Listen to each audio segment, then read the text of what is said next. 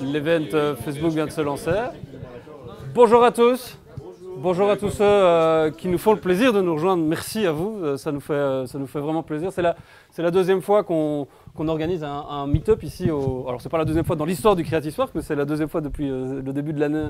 On a repris ici en septembre. C'est des bonnes habitudes de se dire, bah voilà, autant profiter du fait qu'il se passe des choses ici dans la tour, au premier étage, avec le off-bar, avec, les boîtes qui, qui sont ici pour euh, bah, pour accueillir des gens qui ont des, des chouettes choses à raconter. Euh, la semaine dernière, on a parlé de réalité virtuelle, réalité augmentée. Euh, cette semaine-ci, on avait envie de vous proposer de vous intéresser, et vous, entre autres, les étudiants de l'EFJ qui est ici en, en résidence avec nous pour, pour la semaine, de vous intéresser à la technologie de la blockchain, à ses applications, aux changements, au potentiel, euh, aux disruptions, pour pas utiliser trop de bullshit word euh, euh, en même temps. Mais voilà, euh, pour la petite info, bah, tout le live que vous pouvez regarder pour l'instant sur Facebook, il est opéré par les étudiants de l'EFJ, c'est eux qui sont aux manettes. On les salue, ils sont là, ils font une régie mobile avec des outils légers, même si on a déployé un petit peu de matériel pour essayer d'avoir du, bon son, une bonne captation. L'idée, c'est d'avoir une conversation. Alors, on a avec nous trois...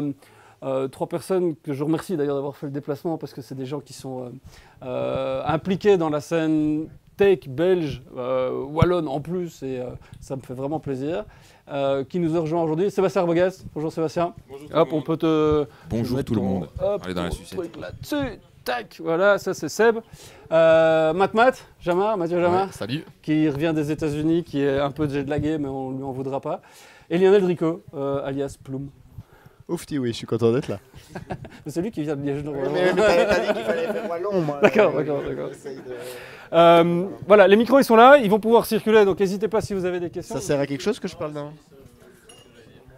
Ça sert à. ça Alors, sert à- les, les- les micros ils sont pour le live, ils sont pas pour l'amplification ici, parce que sinon on va pas s'entendre. Si on, si on fout les, watts ici, ça va être compliqué.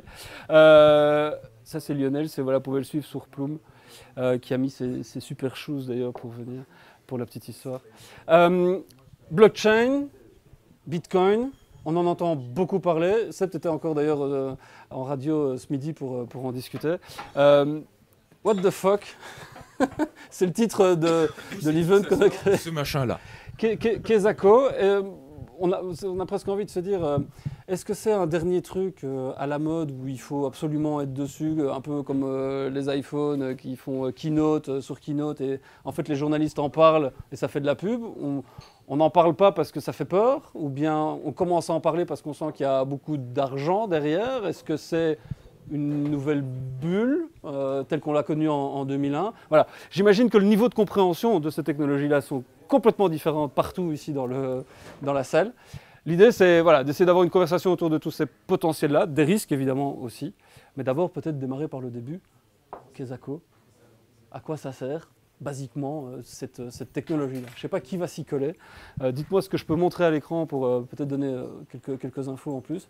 Euh, je, je, je, monte- je monte ta presse, euh, Lieu. Hop. L'idée ici, euh, on s'était mis d'accord, je sais pas si on commence pour ça, si par commencer par le concept de, de monnaie. Ouais, ok. Ouais, alors euh, en fait, il y a deux, deux approches. La blockchain, soit on vous parle de la technologie, on vous explique euh, en- ben, ce que ça fait, euh, comment- ça va révolutionner les choses, ou alors on essaye de passer, de retracer un peu l'approche historique de comment on est arrivé à la blockchain aujourd'hui, parce que la blockchain, en fait, c'est plein de technologies qui existaient déjà avant, mais qu'est-ce qui s'est passé pour, euh, historiquement pour arriver jusque-là? Et je pense qu'un des bons filtres, la première blockchain telle qu'on la connaît aujourd'hui, c'est celle du Bitcoin. Et le Bitcoin, c'est un argent virtuel. Et donc un bon filtre, c'est de retracer l'histoire de l'argent. Qu'est-ce que c'est l'argent en fait? Se poser la question. Parce qu'avant d'expliquer ce que c'est le Bitcoin, il faut se poser la question ce que c'est l'argent. Et de manière étonnante, c'est quelque chose que euh, peu de gens se sont posé la question. Et quand on commence à chercher, c'est euh, c'est fascinant parce qu'on se rend compte qu'on utilise tous de l'argent tous les jours. Enfin, je suppose. Euh, et qu'on a tous envie d'avoir plus d'argent. Mais en fait, personne peu de gens savent ce que c'est réellement. Et quand on sait ce que c'est, en fait, on a, on a toujours envie d'en avoir. Mais euh, Et surtout, comment ça marche. Ouais, comment ça marche Et donc, euh, ben, l'argent, la monnaie, tu peux y aller, tu peux y aller, la monnaie, la monnaie. ah bah, l'idée de base, c'est que en fait, il y a euh, trois propriétés intrinsèques basiques. Euh, Sébastien dit, il y en a trois autres, mais la première chose, pour faire de l'argent, il faut une quantité limitée. C'est euh, évident que si vous avez quelque chose en quantité infinie, que tout le monde peut en avoir de manière infinie, ça n'a pas de valeur. Donc on ne va pas pouvoir euh, l'échanger.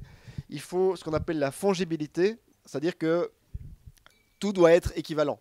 Donc, euh, par exemple, la Joconde, ça vaut beaucoup d'argent, mais c'est c'est pas de l'argent parce que chaque peinture, les peintures sont différentes, donc on peut, on peut pas les évaluer. Il faut que ce soit euh, évident que, euh, ben, par exemple ici, une, euh, 10 pièces d'un euro, c'est un billet de 10 euros et qu'on peut les échanger. Tous les billets sont les mêmes, on s'en fout.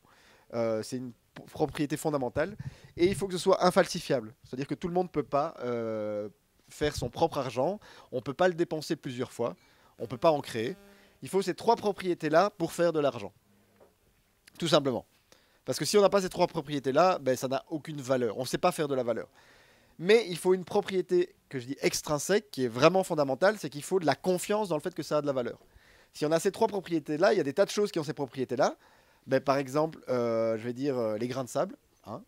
Euh, Les grains de sable, vous- il y en a une quantité limitée. Vous pouvez les échanger, ils sont presque tous les mêmes. Et ils sont infalsifiables. Vous ne pouvez pas créer un grain de sable à partir de rien. Euh, mais en même temps, c'est pas super intéressant d'avoir des grains de sable. Enfin, donc, donc l'idée, c'est C'est que pas, c'est pas un exemple farfelu parce que euh, pendant longtemps on a utilisé des coquillages par Ouais, exemple. hein. donc euh, il y a eu beaucoup d'économies qui ont marché euh, grâce à des coquillages. Ou à des cailloux. Et les coquillages, ça marchait dans les, dans les pays qui étaient loin de la mer. Parce que si vous ramassez des coquillages, évidemment, ça n'a pas de valeur. Mais quand, euh, marche- quand euh, vous n'avez pas de voiture, vous n'avez pas de train, que, euh, il faut pour parcourir 40 km, il vous faut une journée ou deux. Quand vous êtes à 500 km de la mer, ben, le coquillage a de la valeur parce que c'est un objet qui est en quantité limitée. Et un autre exemple très Ouais. connu, c'est le sel, Ouais. qu'on ne savait pas faire soi-même chimiquement à l'époque. Et c'est pour ça que le mot salaire donc, vient de sel. Et euh, c'est, euh, voilà, ça peut paraître farfelu, mais on a utilisé des ressources euh, aussi euh, basiques actuellement euh, comme monnaie. Tout à fait. Et alors, un des premiers exemples que- qui va vous parler, c'est euh, l'or. Parce que l'or, en fait, l'or, c'est rare. C'était brillant, c'était beau. C'était facilement échangeable. L'or, ça se fond très facilement. Donc, on, peut faire on peut mesurer le poids. Et un kilo d'or, ce sera toujours un kilo d'or. Il y a juste la pureté qu'on va un peu faire. C'est infalsifiable. La preuve, c'est que les alchimistes, pendant des années, ont essayé de produire de l'or. Et ils ne sont jamais arrivés. Mais la seule chose qui donne vraiment la valeur, c'est d'avoir confiance. Si vous dites ouh, et la confiance, qu'est-ce que c'est? C'est la confiance que si on me donne de l'or aujourd'hui, je pourrais un jour l'échanger. Parce que si vous n'avez pas confiance en ça, on peut vous donner une tonne d'or. On peut rien foutre avec une tonne d'or. Non, mais franchement, si vous avez faim, vous voulez vous construire une maison, vous voulez vous habiller, euh, vous voulez faire plein de trucs, avec de l'or, vous faites rien. Sauf si vous dites, les gens vont peut-être l'accepter. Et donc ça, c'est le, truc qui est fondamental, c'est la confiance que les gens d'autres vont l'accepter.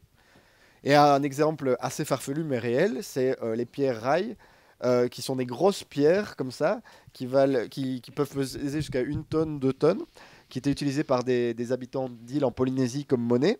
Et c'était tellement lourd et impossible à transporter comme monnaie qu'ils euh, avaient des, avaient en fait des listes de qui était le dernier propriétaire de la pierre. Et donc on s'échangeait la propriété de la pierre. Et Oui, Donc euh, en fait, on voit un trou ici. Ouais. C'est pour placer euh, donc un tronc pour pouvoir le porter avec euh, à dos d'épaule. Et alors la, par- la particularité de, de- de cette île, donc c'est sur une île, c'est qu'il n'y a pas de pierre en fait. Il devait aller la, la construire sur une île qui était distante de plusieurs euh, kilomètres ou dizaines de kilomètres. Il devait aller la tailler sur euh, cette île-là et la ramener sur l'île où il n'y a pas de pierre. Et alors le, le simple fait d'être propriétaire euh, d'une pierre faisait que ça avait euh, une valeur, un statut, et on pouvait alors le mettre euh, au, plus gros, était la pierre, au, plus grand, on avait un, statut. Et, au départ, en fait, on mettait la pierre devant la maison pour dire voilà, je suis riche, j'ai acheté cette pierre. Et donc, c'était vraiment une monnaie. Et puis, en fait, on s'est rendu compte que ça servait à rien de les, mettre devant la maison. Donc, on les déplaçait plus. On, te- on tenait juste un compte rendu de qui était propriétaire. Et donc, les pierres étaient un peu partout et n'avaient plus de lien avec qui était propriétaire. Il y a même, euh, comme Mathieu dit, elle venait d'une autre île. Il y a même l'exemple d'une des pierres qui est tombée du bateau, qui est tombée au fond de l'eau. Et ben, euh, ils ont continué à se l'échanger parce qu'on savait qu'elle était là, quelque part au fond de l'eau.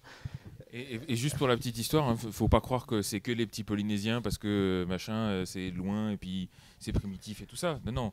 Pour la, petite anecdote, euh, l'Allemagne euh, vient de, ra- de rapatrier ses derniers kilos d'or qui étaient répartis un petit peu partout. Il y avait, il y avait de l'or allemand aux États-Unis, il y avait de l'or allemand euh, en France, etc. Et ils viennent seulement de tout rapatrier en Allemagne. Mais avant ça, bah, on gardait juste une trace sur un, un registre quelque part de cette, cette quantité-là, elle appartient à l'Allemagne.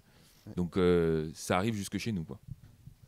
Donc là, on est encore dans des concepts. Voilà, juste pour vous dire, l'argent à quel point c'est un concept euh, compliqué, mais qui est simple à la fois, qui évolue et apparaît à fait la monnaie qu'on dit euh, la monnaie euh, fiat. Alors la monnaie fiat, c'est que là, pour la première fois, la confiance, elle va être garantie par une autorité.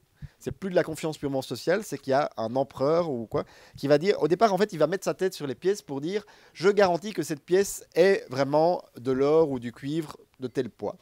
Donc, euh, pas besoin de la peser, ayez confiance. S'il y a la tête de l'empereur, c'est bien ce poids-là, donc c'est bien la valeur. Et puis, en fait, on se rend compte que ça, ça marche tellement bien qu'on n'a même plus besoin de mettre la valeur en métal. Il suffit d'avoir la tête de l'empereur, et c'est l'empereur qui, euh, qui émet les pièces, qui va déterminer quelle est l'économie de l'empire. Euh, et Le, le fait de mettre également la tête d'un empereur, ça mettait une pression sociale pour les, les Ouais. de euh, que si eux allaient mettre la, la figure de l'empereur sur leur pièce, euh, ils allaient être sévèrement punis euh, parce qu'il n'y avait que l'empereur qui pouvait mettre euh, sa tête sur, sur une pièce. Quoi, hein. Et, et généralement, c'était la puni, puni de mort. Et aujourd'hui encore, la, la fausse monnaie, c'est un crime grave parce qu'en fait, c'est la base même de l'économie repose sur la confiance qu'il n'y a pas de fausse monnaie. Que c'est l'empereur. Aujourd'hui, c'est plus l'empereur, c'est la banque centrale, mais c'est pareil. Et c'est eux qui ont émis la monnaie. Et donc, on s'échange des pièces qui sont garanties par l'empereur. Et puis apparaît l'idée, mais les pièces, c'est lourd. Et puis alors euh, apparaît l'idée des banques et de l'imprimerie. Et euh, en fait, avec l'imprimerie, il y a les premiers, euh, les premiers orfèvres, surtout en Allemagne. Il y, en a, une famille qui sont assez connues parce qu'ils ont commencé comme ça. C'était une petite famille d'orfèvres qui ont dit Mais mettez vos pièces chez nous et nous, on vous fait des bons qu'on imprime. comme quoi vous avez la, la- la valeur chez nous. Et la famille, vous connaissez peut-être, elle s'appelle Rothschild.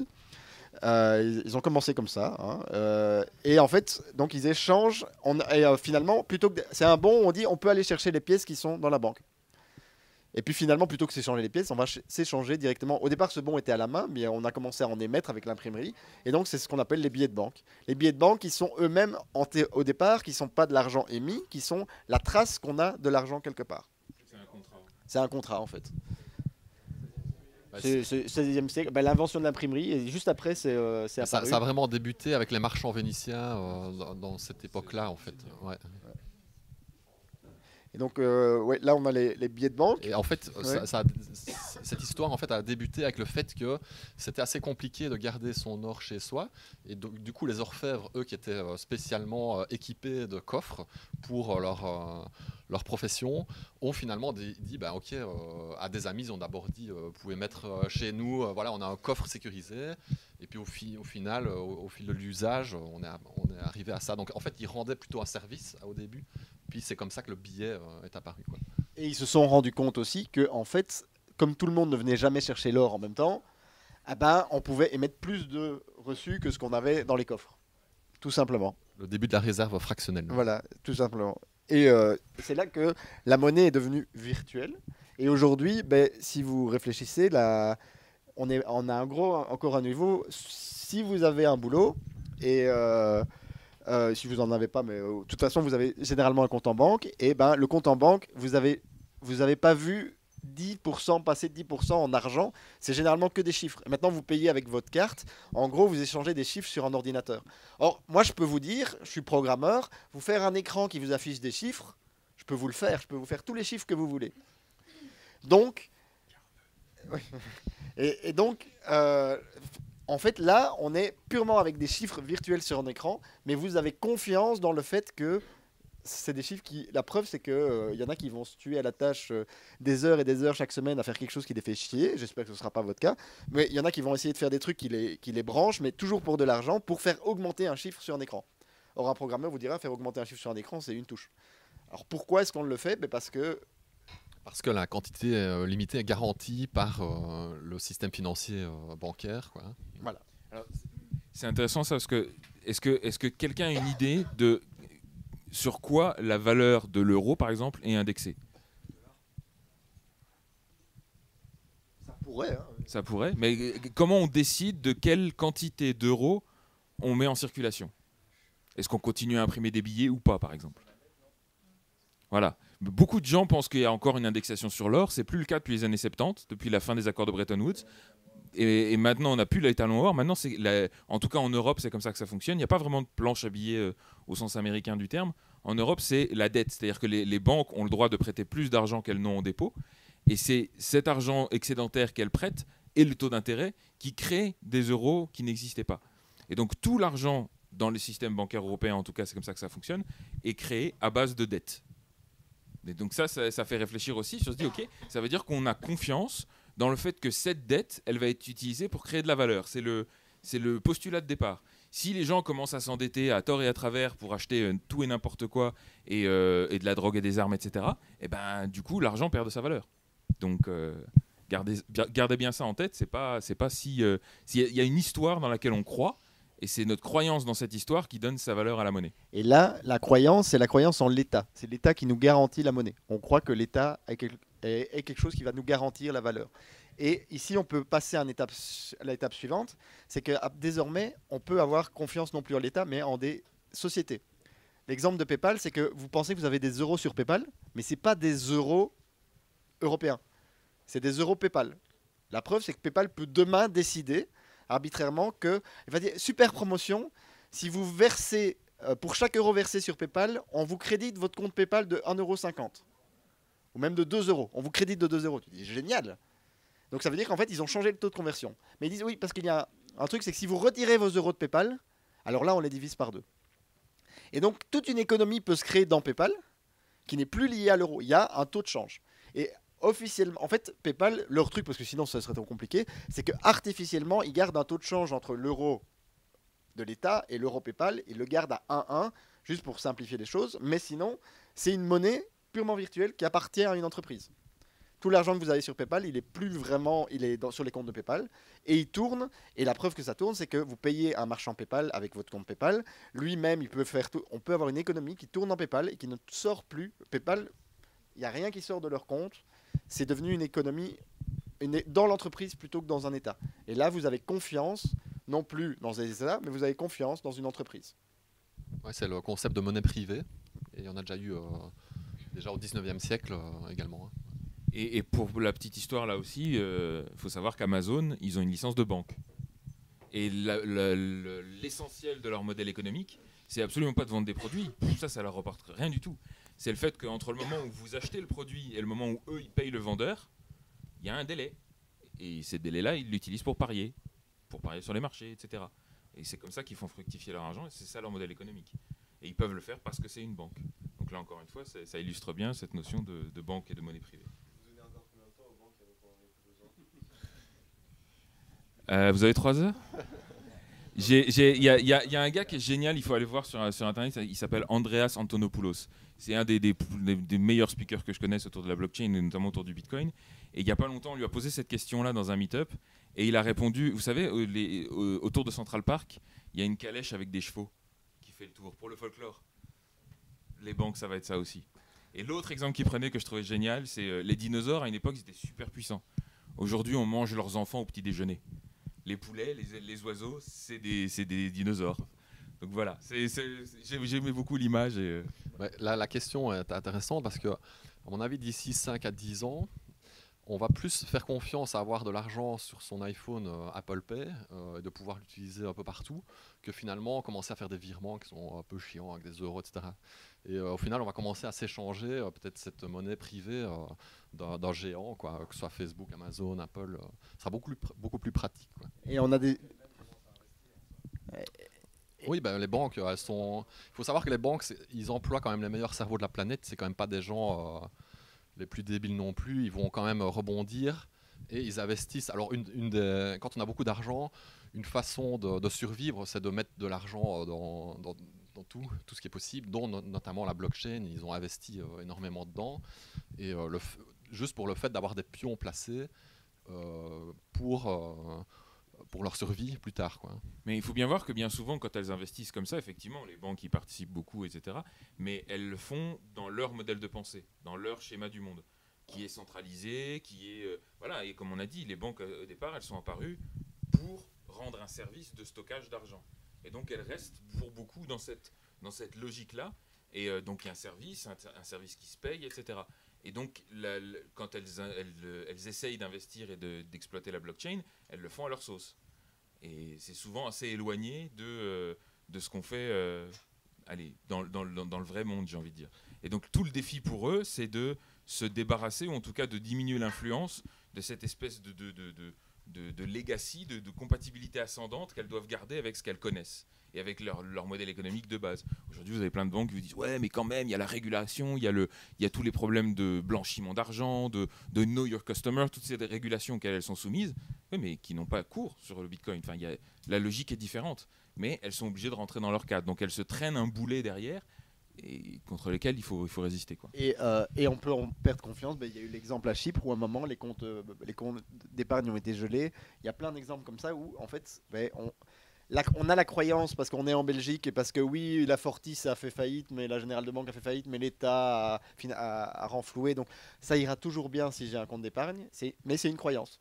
Et je dis pas qu'elle est fausse, je dis pas qu'elle est injustifiée, mais que c'est une croyance. Il faut être clair que ce n'est pas garanti à 100% et donc peut-être à un moment il va y avoir un switch de mentalité d'ici soit l'année prochaine soit dans 50 ans probablement entre les deux mais où euh, on dira mais en fait non je peux plus laisser mon argent sur un Et alors là aussi, pour remettre les choses dans l'histoire, peut-être qu'on va, on va en parler après, tu me dis, tu m'arrêtes si je me trompe Lionel, mais euh, pour la petite histoire, faillite de Lehman Brothers, octobre 2008, première transaction sur Bitcoin, janvier 2009. Deux mois. C'est pas un hasard. Et en fait, on arrive justement à Bitcoin pour revenir. On a fait. Pourquoi est-ce qu'on a retracé tous ces, tout, l'histoire de l'argent? C'est pour vous montrer ben, euh, donc les trois propriétés qu'on vous a dit. Euh, moi, en fait, c'est un truc qui m'a. Pourquoi je, me suis intéressé à Bitcoin en, en 2009 C'est parce que j'avais toujours essayé de, euh, faire une monnaie décentralisée. Donc, de- d'essayer de reproduire ces trois données, ces trois donc fongibilité, rareté et euh, oui, infalsifiable. Et J'avais, essayé de le reproduire, mais le truc que moi j'avais pas perçu, et c'est ça qui fait que je me suis planté, c'était juste de moi sur mon PC, hein, c'est que j'essayais de faire un truc qui valait 1 euro. Et la force de Bitcoin, c'est que euh, ben, le fameux euh, Satoshi Nakamoto, qui, euh, qu'on ne sait pas qui c'est, a créé, euh, a créé justement une un projet de monnaie virtuelle qui avait toutes ces propriétés-là, mais qui ne valait rien. Il a mis les propriétés intrinsèques et il a dit si vous voulez, voilà, j'ai fait un projet euh, et euh, j'ai fait un projet euh, open source qui a ces propriétés-là, donc on pourrait l'utiliser comme argent, mais la seule chose qui manque, c'est la confiance. Et, donc, comment est-ce qu'il a donné la confiance ini- ini- initiale? Pour moi, ça c'est un, de mes sujets de prédilection, c'est que pour moi, rien qu'en appelant son système peer-to-peer cash, en mettant le mot cash, il a donné de confiance et c'est de l'argent. Il aurait appelé peer-to-peer transaction system, peut-être que ça n'aurait pas pris de la même manière. Mais là, les gens se sont dit, bah, c'est de l'argent. Et, euh, et la grande force, c'est que, ben voilà, euh, pourquoi est-ce qu'on. Maintenant, on va parler de la blockchain. C'est là, pourquoi est-ce qu'on voulait vous, vous expliquer ça? C'est que pour pouvoir mettre en place ce système Bitcoin, donc d'argent virtuel, il a dû mettre en place une blockchain techniquement derrière. Moi, j'aimerais réagir. Pour moi, euh, la confiance, on l'a eu dans le code, on va y venir, mais ça a eu du succès parce que c'était une quantité limitée. On va voir que les bitcoins, on ne peut pas les créer euh, comme on veut. Euh, c'est la rareté qui fait que ça a eu de la valeur. C'est pas pour moi le nom aurait pu changer ou quoi, mais C'est- un, un mélange de tout, Oui. mais c'est juste le- pour le bootstrap parce que, oui, c'est aussi euh, le, le problème, c'est qu'on est dans un monde informatique où tout est copiable à l'infini. Et donc, en fait, le gros challenge de, euh, du Bitcoin, c'était comment faire quelque chose de virtuel qui est incopiable. C'est ce qu'on appelle passer d'un réseau d'information à un réseau de valeur. Quand, je vous donne une information, je ne suis pas plus stupide, j'en garde une copie. Euh, quand je vous envoie un mail, il y a une copie sur mon, ordinateur. Par contre, quand on veut trans- transacter de la valeur, eh ben, si je vous donne une, une pièce d'un euro, je ne l'ai plus. Sinon, ça veut dire que la, la pièce se copie, donc elle perd sa rareté, elle perd sa propriété, c'est plus une monnaie. Et c'est- là qu'on revient à la confiance, et que pourquoi aujourd'hui l'euro fonctionne, c'est parce qu'on a confiance que quand je fais un virement, eh ben, la banque va, elle va déduire des euros de mon compte, mais elle va le créditer de l'autre côté, et j'ai purement une confiance aveugle dans le système pour ça. Parce qu'on n'a aucune visibilité sur comment ils gèrent leur système informatique derrière, on n'a aucune visibilité sur qui a accès aux bases de données dans lesquelles tous ces comptes sont, stockés, on n'a aucune visibilité sur les procédures légales et administratives qu'ils utilisent pour gérer tout ça. Donc on doit vraiment leur faire une confiance aveugle. Et là où je rejoins effectivement euh, ce que disait Mathieu, c'est que sur le, Bitcoin, cette confiance-là, on n'a plus besoin de la placer dans une institution, dans une réglementation, etc. On a accès au code source, on peut voir de nos yeux voir euh, comment c'est implémenté, comment c'est géré. Alors bien sûr, il faut, bidouiller un petit peu et puis il faut, se mettre au langage qu'ils utilisent, le langage de programmation. Mais une fois qu'on a passé ce- cette étape-là, eh ben, on peut vraiment comprendre comment ça fonctionne et tout un chacun. Je veux dire, c'est accessible à tout le monde. Aujourd'hui, si vous voulez rejoindre le système bancaire et aller voir comment fonctionne le back-end chez, euh, chez Fortis, vous devez avoir une licence de la, de la FSMA. Si vous voulez être développeur Bitcoin, il suffit d'apprendre le langage de programmation qu'ils utilisent. Donc c'est complètement différent comme logique. Donc euh, la révolution, elle se trouve, euh, comme tu dis, d'un mode de fonctionnement, de transfert d'informations, où on, on échange des photos, on a toujours une copie. Et la blockchain, qui est le moteur au final derrière euh, Bitcoin, on va y venir, c'est la première fois où on peut envoyer quelque chose de numérique en, euh, en étant sûr que l'émetteur n'est plus une copie. Et en fait, bêtement, ce concept-là de d'envoyer euh, X valeur à, à autrui, sans qu'on ait encore euh, la copie de, de cette valeur, fait que c'est devenu une monnaie. Et alors, comment est-ce qu'on va faire ça? Ben, Pratiquement, on va faire ce qu'on appelle un ledger, c'est-à-dire un, livre de compte. Vous vous souvenez des Pierre Vaille, euh, où j'ai dit, euh, en fait, ils, avaient la liste du dernier propriétaire? Eh ben, On va juste tout simplement faire ça. On va faire une liste du dernier propriétaire de chaque bitcoin ou millibitcoin, ce que vous voulez. Et donc, c'est juste, c'est pour ça qu'on appelle ça une blockchain, c'est que on va avoir une liste de blocs avec chaque fois, dans chaque bloc, les transactions. Et donc, si moi j'ai un bitcoin, on va vérifier que euh, eh ben, je ne l'ai pas envoyé. Et euh, si je l'envoie à Mathieu, eh ben, Mathieu, euh, lui, il aura son bitcoin. Et moi, si j'essaye de le dépenser, on va vérifier en lisant. Alors là, je simplifie vraiment, je fais la base. On va relire toute la chaîne de transactions et on va dire non, non, mais à un moment, Lionel a donné ce bitcoin à Mathieu, donc il ne l'a plus. Par contre, si on arrive à la fin de la liste de, les, toutes les transactions et que Lionel n'a jamais envoyé ce bitcoin, c'est que c'est le propriétaire. Tout simplement. Je dis tout simplement, mais c'est voilà, la base, c'est la liste de toutes les transactions. Et alors- Et la copie, et c'est ça tout- toute l'ingéniosité derrière aussi, c'est que la copie, chacun peut en Voilà. avoir une et vérifier le- que la cette notion de ledger, on n'a rien inventé. hein. Le- le- le- c'est comme ça. et Les banques gèrent euh, vos comptes en banque comme ça. Elles gè- elles, elles ont pas du tout une liste de tel numéro de compte à tel solde. Ça, ça serait ingérable. Elles ont une liste de transactions et elles peuvent déduire le solde de chaque compte en faisant les additions et les soustractions jusqu'à une date donnée. Donc comme ça, elles sont capables de vous dire combien, vous, enfin le chiffre dont parlait Lionel tout à l'heure. Mais ce ledger-là, les banques fonctionnent comme ça. La vraie innovation ici, et c'est la, raison d'être de ces fameux blocs, de pourquoi on a pris ce ledger puis on l'a on l'a saucissonné, c'est de dire, dans le cas d'une banque, c'est facile de décider c'est quoi la réalité, dans quel ordre sont, sont foutues les transactions. Parce que c'est la banque qui garantit euh, cet ordre des transactions. Maintenant, si effectivement tout le monde, chez lui, chaque utilisateur a une copie de ce registre, après tout, qu'est-ce qui nous empêche d'aller chacun mettre nos transactions dans l'ordre qui nous arrange pour augmenter le solde de notre compte?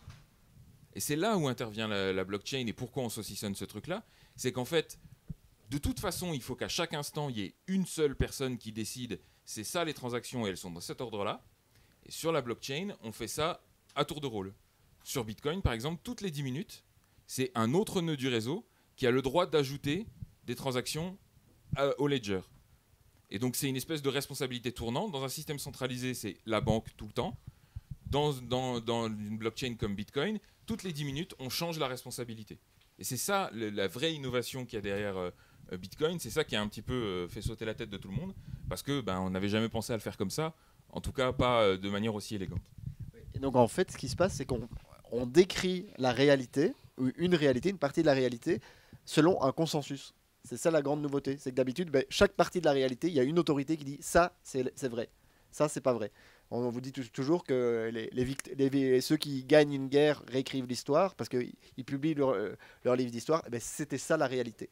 Ici, pour la première fois, pour moi, c'est pour ça que c'est révolutionnaire dans l'histoire de l'humanité, on est en train d'écrire une réalité qui est partagée. On est en consensus, ok, on est tous d'accord que c'est ça la réalité, et de manière pseudo-démocratique, c'est-à-dire que tout le monde a sa, voix au chapitre pour dire, ben ça c'est la réalité. Alors ici, on parle que des transactions dans, un, dans, une économie particulière, mais c'est la base, c'est qu'on on, fait un consensus sur c'est quoi la réalité de l'histoire. Et donc, ce qu'il faut bien comprendre derrière ça, c'est que Bitcoin, c'est une application de la technologie blockchain. pas des moindres, hein, je veux dire les gars, euh, pour commencer, allez, on va prendre un petit exemple, un petit proof of concept, ouais, on va faire un système monétaire, c'est bien. je vous pose ça là, hein, Mais vous on en peut- faites ce que vous voulez. Mais on peut imaginer plein d'autres choses derrière. Vous connaissez sans doute plein de professions dont le métier, l'ADN même, est de tenir un, bu- un- un- un boulier compteur de ce genre-là.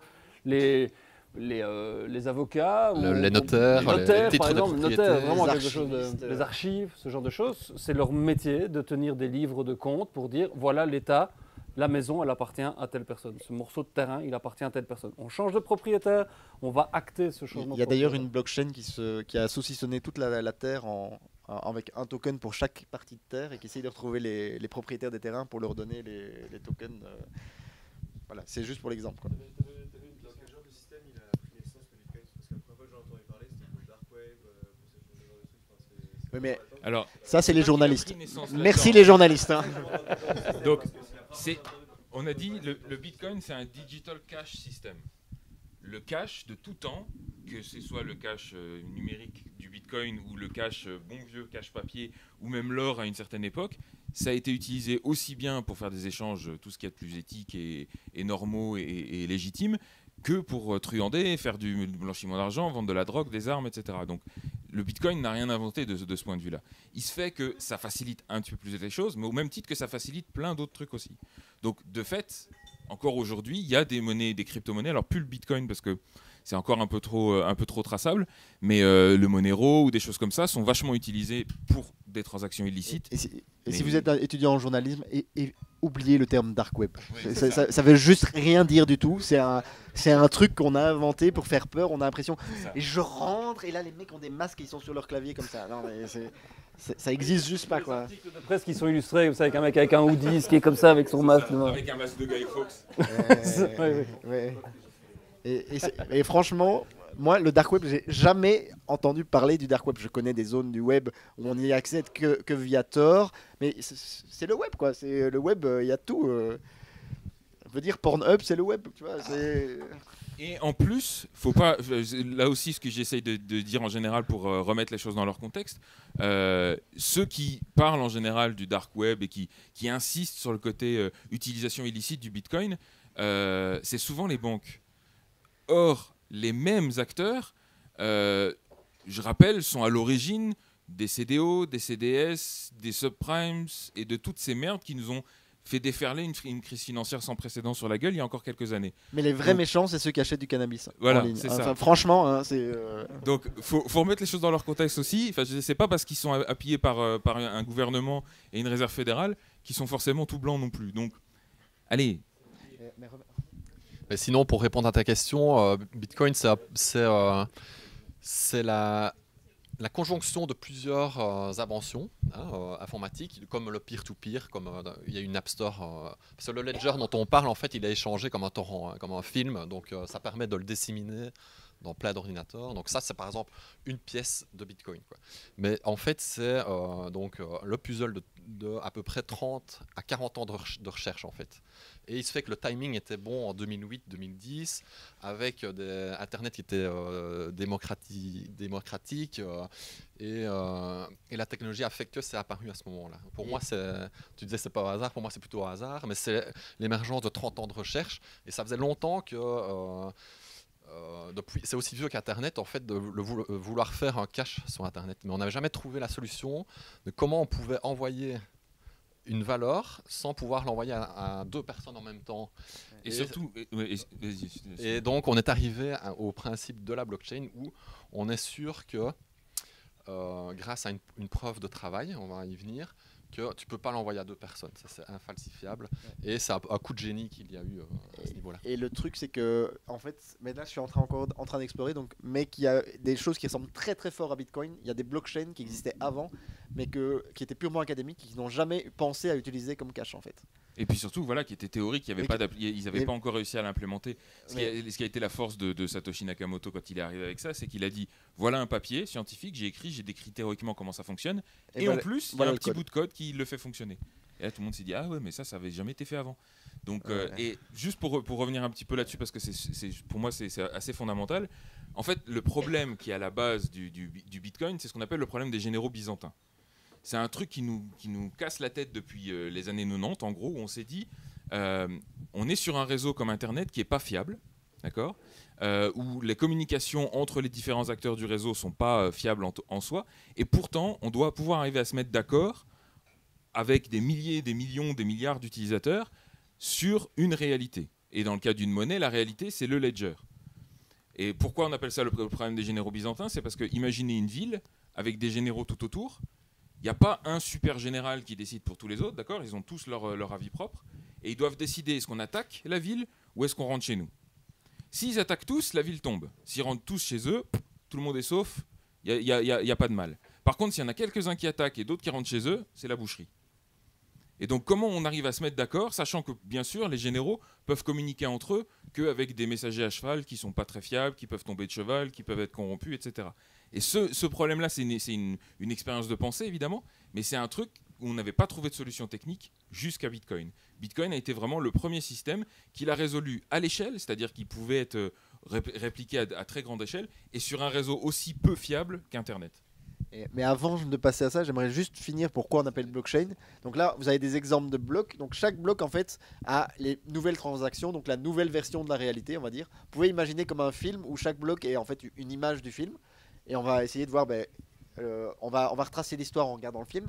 Mais chaque bloc a une référence au bloc précédent, ce qu'on appelle un hash. Donc chaque bloc a la signature du bloc précédent. Qu'est-ce que ça veut dire?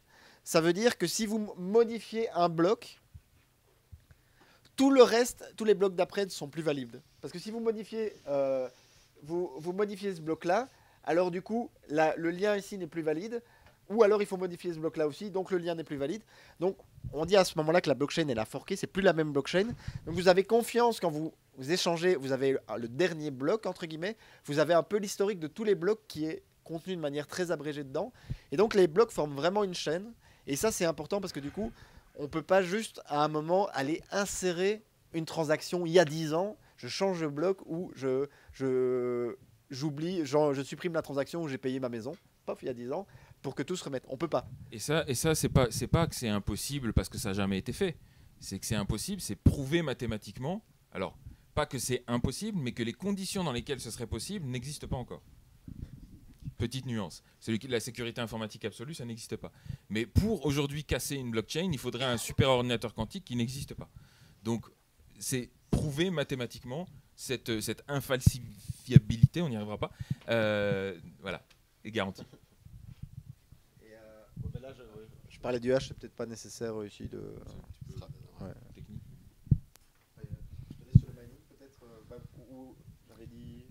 Est-ce qu'il y a des questions Oui, peut-être on va- jusqu'à on là va- Est-ce que, on va est-ce que- quelques questions là. est-ce que jusqu'à là, ah bah, ouf. Ouais, alors, voilà, tu vas repasser juste au, au- au slide avant. Justement, on parlait de la signature des blocs. En fait, en informatique, euh, on a une fonction, une fonction mathématique, mais en gros, n'importe quel, tout est une série de bits. hein. donc, euh, tout peut être euh, résumé à euh, une série de bits. Par exemple, je vais donner le H euh, sur ta carte bancaire. le- les, deux, les deux numéros, les deux derniers numéros sont un H de- des autres numéros. C'est-à-dire que si tu changes un numéro, les deux numéros, par exemple, on va dire, sont la, la somme de tous les numéros précédents et on prend les deux derniers. Le- Ça, le- c'est un exemple de hash, par exemple. Le but d'une d'une fonction de hachage, comme on appelle ça, c'est Ouais. de prendre une quantité arbitraire de contenu, de, de- de Ouais. données, et de la transformer en un nombre d'une taille connue, qui est plus petit, qui est plus facile à digérer. De telle sorte que si vous changez la moindre élément dans le- les Ouais. données sources, votre nombre il est complètement différent. Ça, c'est la propriété de base. Et ça, ça permet effectivement de calculer, de, de prendre un gros volume de données comme un bloc dans la blockchain et d'en calculer une signature. Et donc là, je dis une longueur fixe, c'est irréversible, c'est-à-dire que si vous avez le hash, vous n'avez aucune idée de ce qui était l'information euh, avant. Et alors, c'est surtout, c'est complètement imprévisible, donc même changer une virgule dans un document de 1000 pages va faire deux hash complètement différents. Mais par exemple, ici, j'ai fait le hash du mot hello, le, hash du mot de la lettre A, et là, le hash du LOA, il n'y a juste aucun lien. Il n'y a pas moyen, et en fait, toute la, crypto là-dessus, c'est qu'il n'y a pas moyen de trouver, euh, de trouver facilement, même euh, de trouver tout court, deux, données différentes qui ont le même hash. Ce qu'on appelle une collision. Et alors on dit que le hash est cassé, euh, certaines fonctions de hash sont cassées quand on a compris comment faire pour euh, préserver le hash en modifiant les données. pour certaines fonctions de hash très simples, c'est possible. Vous envoyez un mail, il a un hash, et puis vous, vous rajoutez un PDF dedans que vous modifiez. euh, Il y a eu des hacks là-dessus, et on peut préserver le hash parce qu'on a compris comment casser. Mais je vous rassure, Bitcoin se base sur le hash 256 qui est pour le moment, mais incassable sans ordinateur quantique. En théorie, c'est ce qu'on, il y a une sorte de consensus académique là-dessus pour le moment. Donc euh, si vous avez bien vu, donc quand on met un, mot, et qu'on, donc ça c'est l'entrée de la fonction mathématique qui s'appelle euh, hachage, ça donne quelque chose d'indigeste, c'est totalement euh, inintelligible, 2 CF, 2 machin. Et donc, il faut savoir qu'il y a aussi cette euh, particularité-là, c'est que c'est inintelligible. Maintenant si tu passes au slide suivant, ici on a un hash des transactions des dix dernières minutes qui se sont passées sur, euh, sur le réseau Bitcoin. Donc on a toute une somme de transactions qui sont faites. On rentre ça comme euh, entrée dans la fonction de, de hachage et ça va do- donner quelque chose normalement d'inintelligible. Et on remarque pourtant qu'il y a une suite de zéros ici devant. Et c'est ça en fait tout le génie de, Bitcoin et c'est ce qui, qui prouve qu'il y a derrière une, euh, une quantité informatique énorme garantit euh, on va dire, l'unicité et euh, le bon fonctionnement du Bitcoin. Ça veut dire que quand on parle souvent dans les médias, ils disent que les, mineurs, donc euh, les, les ordinateurs du réseau Bitcoin font des choses très complexes. En fait, c'est très simple. Ils font juste, ils prennent les, les 10 mi- dernières minutes de transaction et ils rajoutent à, tout ce grand texte, ils rajoutent un nombre. Ils vont chaque fois tester. Ils vont rajouter 1, puis ils vont regarder est-ce qu'il y a 19 zéros? Je crois que c'est 19, ça doit être 19 zéros ici. Puis euh, ça va donner un hash qui est totalement euh, inintelligible. Ils vont rajouter le numéro 2 et puis ils vont faire ça des milliards de fois. Et puis alors, entre, souvent ça se passe après 10 minutes, un de, tous les, mineurs, de tous les acteurs, va trouver un hash qui est intelligible, qui a 19 zéros. Et juste ce fait-là, en fait, c'est une, euh, une progression exponentielle de la difficulté. hein. C'est vraiment euh, 19 zéros, c'est quelque chose de, de- énorme. Ça, ça consomme, euh, je, je pense à mon avis, des, des euh, des centaines de milliers de, de dollars d'énergie pour arriver à ça. Toutes Mais- les 10 minutes, quoi. Tout simplement, il suffit de savoir que euh, chaque lettre, c'est pas de 1 à 10, c'est de euh, 1 à 16, c'est de l'hexadécimal. Et donc, quand comme tu en as 19, mais même si c'était de 1 à 10, 19, ça fait euh, des milliards de milliards. Ouais. Donc, il faut tester des milliards de milliards pour en trouver un. Et donc voilà, le génie de- du Bitcoin, c'est de comprendre cette fonction de hash en fait. Et si toi tu veux te rajouter 1000 Bitcoins sur ton compte, tu peux le faire. Tu vas devoir l'écrire dans les 10 dernières minutes qui se sont passées, dans une transaction qui te crée 10 10 000 euh, Bitcoins, mais il va falloir te, euh, trouver une signature euh, qui, aura donc cette fonction de hash avec 19 zéros avec ton propre ordinateur, ce qui est infaisable en fait. En fait, le- le minage dans Bitcoin, c'est une compétition. Donc toutes les 10 minutes, vous avez un certain nombre de nœuds qui rentrent dans cette compétition, et c'est ce qu'on appelle les mineurs. Et la compétition consiste à le premier qui a trouvé le bon hash avec les 19 zéros de- au début, il a gagné. Et statistiquement, ce, truc-là prend à peu près 10 minutes. Donc dans tout le réseau, y a, toutes les 10 minutes, il y en a au moins un qui va trouver une solution. Et c'est- comme ça qu'on alloue, je vous parlais tout à l'heure de la responsabilité tournante, c'est avec cette compétition-là qu'on décide toutes les 10 minutes, ben, ce coup-ci c'est toi parce que c'est toi qui as gagné la compétition. Et du coup, quand tu gagnes la compétition, tu reçois, de l'argent. C'est ça qui s'est passé notamment au début du Bitcoin. Si on- ceux qui en ont parlé, entendu parler au tout début, euh, la, la valeur, et ça on va y venir après, sur la valeur même intrinsèque de ça vaut quoi un Bitcoin euh, quand on veut l'échanger à compte du vrai argent, avec toutes les, les précautions oratoires sur euh, cette notion de vrai argent dont on a pu parler tout à l'heure. Mais au début, il fallait sans doute moins de ressources pour pouvoir le faire, vu qu'il y avait de moins de compétition, il y avait moins de compétiteurs qui étaient en train d'essayer d'en construire. Et il fallait trouver moins de zéros. Ouais, c'est ça en fait, c'est super moins simple. de zéro. Parce qu'en fait, le, truc, c'est qu'il y avait juste moins de zéro en fait. Ouais. Et au plus il y a des. En fait, ce qui se passe, c'est au plus on trouve rapidement des blocs, ça veut dire que des nouveaux acteurs sont arrivés. bah, il y a un, un- un algorithme toutes les deux semaines qui va décider est-ce qu'on rajoute, ça, ça se fait automatiquement, est-ce qu'on rajoute ou on diminue le nombre de zéros à trouver en fait. C'est super génial. Mais c'est ce qui fait aussi qu'on reste dans une quantité qui est limitée. On sait qu'un jour, Alors, le- la- On atteindra la limite. comme toute monnaie a besoin d'une politique euh, monétaire, c'est-à-dire d'une une logique pour créer de la monnaie. Alors, on l'a dit, dans le cas de l'euro, euh, ça se crée sur, le, sur la dette, avec tout un tas de règles très très complexes et, et un peu opaques, il faut bien le dire. Dans le cas de Bitcoin, c'est hyper simple. C'est que toutes les 10 minutes, donc à chaque nouveau bloc, vous avez une certaine quantité de Bitcoin qui est créée de toutes pièces et qui est offerte en récompense au mineur qui a gagné la, la compétition de minage. Et au tout début, elle était, la prime était de 50 Bitcoin. Et, elle dit, et, et c'est encore une fois, c'est tout automatique, c'est implémenté dedans comme ça. Tous les 4 ans, cette quantité est divisée par deux. Donc en 2016, elle est passée, en 2012, pardon, elle est passée à 25. Et en été 2016, donc l'été dernier, elle est passée à euh, 12,50. Et dans 4 ans, de nouveau, elle, elle rediminue par deux. Et donc avec ça, on arrive. C'est pour ça que je sais pas, vous avez peut-être entendu dire que en 2100 et des, euh, il y aura quasiment plus de, de, de primes de Bitcoin. Et donc la quantité finale de Bitcoin en circulation, elle est, elle est constante. Au final, il y aura 21 millions et des euh, de Bitcoin et ça bougera plus. Donc tout ça, c'est des, c'est des propriétés qu'on a. Ah mais de toute façon, Ouais, toutes tous les bitcoins sont divisibles. Aujourd'hui, vous pouvez acheter un Satoshi. Un Satoshi, c'est 10 puissance moins 9 bitcoins. Donc ça restera. Ça, ça, ça va, ça va rester jusqu'au bout. Mais euh, ce que ça veut dire aussi, c'est que euh, concrètement, le bitcoin a été implémenté. C'est-à-dire qu'il y a des gens qui ont choisi d'en faire une monnaie déflationnaire. C'est-à-dire que le, le- le stock de monnaie va rester constant, mais la valeur qu'on va créer avec va, elle, augmenter, et donc les prix vont baisser. Mais ça, encore une fois, c'est un choix qu'on a mis dans le bitcoin. Dans d'autres crypto-monnaies, il y a eu d'autres choix qui ont été mis. Donc là, il y en a eu euh, un peu. Je crois qu'on est à 18 millions déjà de, de minés, ou 17 millions sur les 21 millions en fait. Il y, en a, il y en a quelques millions qui sont bloqués. hein, quand même. Alors Euh, euh, oui, on est certain qu'il y a des. oh, pff, moi, je pense qu'il y a 2-3 millions de bitcoins euh, perdus. Euh, on va comprendre pourquoi euh, plus tard. et plus ceux de- qui ont été minés au début par Satoshi lui-même. Ah oui, oui, le créateur lui-même aurait miné 1 million de bitcoins, qui représente euh, 40 milliards, euh, non 4, milliards, je pense. Mais alors, euh, la particularité, c'est qu'il n'a jamais touché un, un seul euh, Donc bitcoin. on, on voit les comptes, on voit les soldes qu'il y a dessus, mais on n'est pas sûr que ce soit, que ce soit lui. Puisque c'est c'est complètement oui, on, anonyme. on- donc, euh, on- on suppose. on suppose que c'est lui. Quoi, Ouais. hein, ouais. On parlait tout à l'heure du, du web caché ou de- d'acheter de, la drogue, d'acheter, euh, de commanditer des meurtres, ce genre de choses. Ça s'est vu. euh, il y a eu Road Silk euh, à une époque. Euh, tu dis c'est anonyme. Et c'est ça aussi qui, pour les journalistes, et euh, c'est difficile d'en parler de manière euh, conséquente et correcte, mais c'est vrai que ça fait partie du fantasme quelque part, de dire on peut, on est anonyme, donc on peut acheter tout et n'importe quoi, et en plus ça vaut beaucoup de sous. Donc forcément ça alimente des fantasmes. Sur un réseau de valeurs, il y a deux éléments d'information qui sont absolument cruciaux et qui, qui travaillent ensemble. Il y a l'identité des porteurs de compte et il y a le- la nature des transactions entre ces porteurs de compte. Dans le cas d'une banque, le modèle de sécurité est conçu pour que les banques doivent se soumettre à une réglementation qu'on appelle KYC, Know Your Customer. Donc les banques sont obligées de vous identifier, elles vous demandent une pièce d'identité pour créer un compte.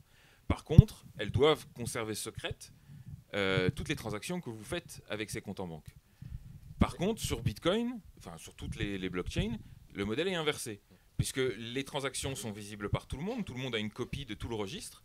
Par contre, pour créer un compte Bitcoin, vous le faites en deux minutes, c'est gratuit, vous n'avez pas besoin de vous identifier. Donc vous pouvez créer un compte euh, vous-même, vous pouvez créer des centaines de comptes si ça vous amuse. Euh, c'est tout à fait gratuit et, anonyme. Et par contre, ce qu'il y a, c'est qu'il faut bien dire, dans les banques aujourd'hui, c'est pas complètement euh, secret parce que euh, il y a des algorithmes qui, qui font des flashs euh, rouges. Si vous recevez de l'argent de certains pays ou des transactions trop, import- trop importantes, et ça, j'ai des amis qui ont eu le cas, parce qu'ils avaient justement, ils avaient de l'argent avec le Bitcoin et l'Ethereum, ils l'ont versé sur leur compte et paf, la brigade antiterroriste débarque chez eux pour voir comment ça se fait que vous avez de l'argent qui vient d'un compte d'Afghanistan. Parce que j'étais sur un échange Bitcoin en Afghanistan. Et, euh, et c'est complètement différent aussi de. En fait, l'État veut contrôler ça pour éviter. Alors, il y a le, blanchiment, la lutte contre l'argent noir, et il y a au- aussi la lutte contre simplement le travail au noir pour, éviter, pour que les gens payent leurs impôts. Mais euh, moi, ce que je dis toujours, c'est qu'en gros, le bitcoin. Avant, si vous vouliez pas payer vos impôts, si vous vouliez faire des transactions et tout ça, c'est très simple. Vous alliez à Panama, vous ouvriez des comptes aux îles Caïmans. Ça devient rentable à partir de 100, 200, 500 000 euros. Ce qu'il y a, c'est qu'avec le Bitcoin, vous avez votre compte aux îles Caïmans à partir de 1 euro. Voilà. Euh, donc en gros, on a démocratisé les îles Caïmans. Non, mais alors, pour, euh, pour, pour répondre quand même à cette question, finalement, euh, Bitcoin noir, gris, blanc, il y a eu des études quand même récentes qui ont été faites notamment par la Banque euh, euh, nationale euh, allemande. Pour elle, euh, elle estime que euh, Bitcoin est largement plus propre que le cash, et de très loin. parce que bon, bah, utiliser Bitcoin, ça, ça- ça- utiliser Bitcoin en fait, ça éloigne le- la, la grande criminalité et les grands banditismes, parce que chaque transaction qui est faite est inscrite euh, de façon indélébile et ouverte dans un, dans un livre des comptes. Peut-être que d'ici 10-20 ans, on va pouvoir retracer quasiment tout le monde avec euh, l'intelligence artificielle et, d'autres euh, ressources informatiques. On pourra retrouver qui était derrière les IP, etc., s'ils n'ont pas pris des précautions euh, nécessaires. Du coup, c'est prouvé que le, grand banditisme utilise toujours les billets et les banques d'affaires, HSBC notamment, qui a été condamné pour avoir sciemment bah, gardé de l'argent de cartel, accepté de l'argent de cartel euh, mexicain. Ils ont fait énormément de profits, ils ont dû payer euh, 200 millions de- d'amendes.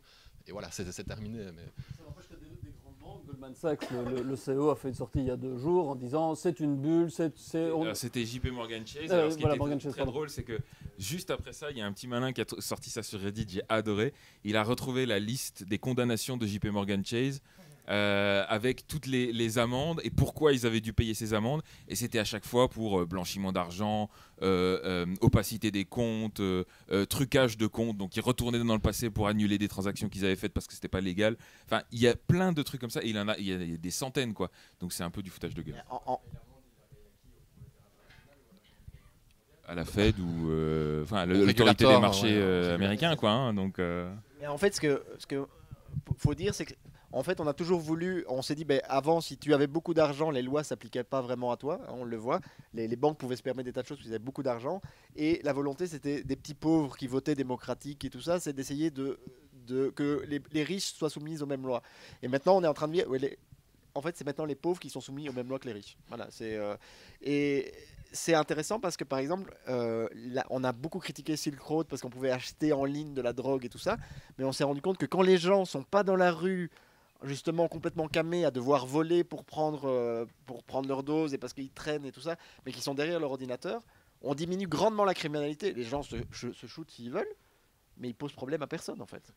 Et donc les, euh, les gens qui commandaient de la drogue en ligne, ah ben, ça, le Bitcoin le nettoyeur de vos rues ça, ça a démocratisé et ils ont commencé du coup les, euh, les dealers à devoir avoir des critères de qualité parce qu'il y avait comme sur eBay des, euh, des, des en disant mais lui c'est de la merde et tout ça.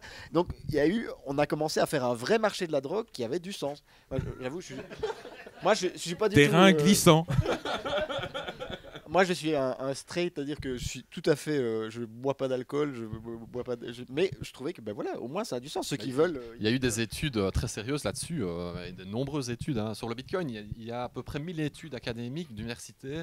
J'ai encore eu euh, ce matin, euh, donc j'ai une alerte sur Google Scholar. 1001. Mais, euh, Vous mettez euh, Bitcoin, euh, il y avait sept papiers euh, super intéressants. Donc, euh, je, je pourrais donner le lien. Donc, il y a- on est à pas loin des 1000, là. Notamment alors sur le, le marché de la drogue. Ils ont remarqué que la qualité de la drogue euh, avait largement augmenté. Pourquoi? Tout simplement parce que grâce au commerce, la, la compétition déjà entre les vendeurs, ils devaient faire mieux avec euh, des meilleurs produits. Mais surtout, en fait, c'est qu'on pouvait désintermédier les, dealers, en fait. Et en fait, on a toujours les, grands parrains, puis les petites frappes, etc. Et chacun rajoutait, coupait la drogue, etc. Rajoutait des crasses, euh, etc. Et donc, on, remarque au final que bah, c'est un, terrain glissant, mais ça a enlevé des sinon le Bitcoin ça ont- sert pas qu'à acheter de la drogue hein. mais tout ça, tout ça pour dire, ce qu'il faut retenir, c'est que la qualité de la drogue permet de, de mesurer le, le nombre d'intermédiaires qu'on a diminué.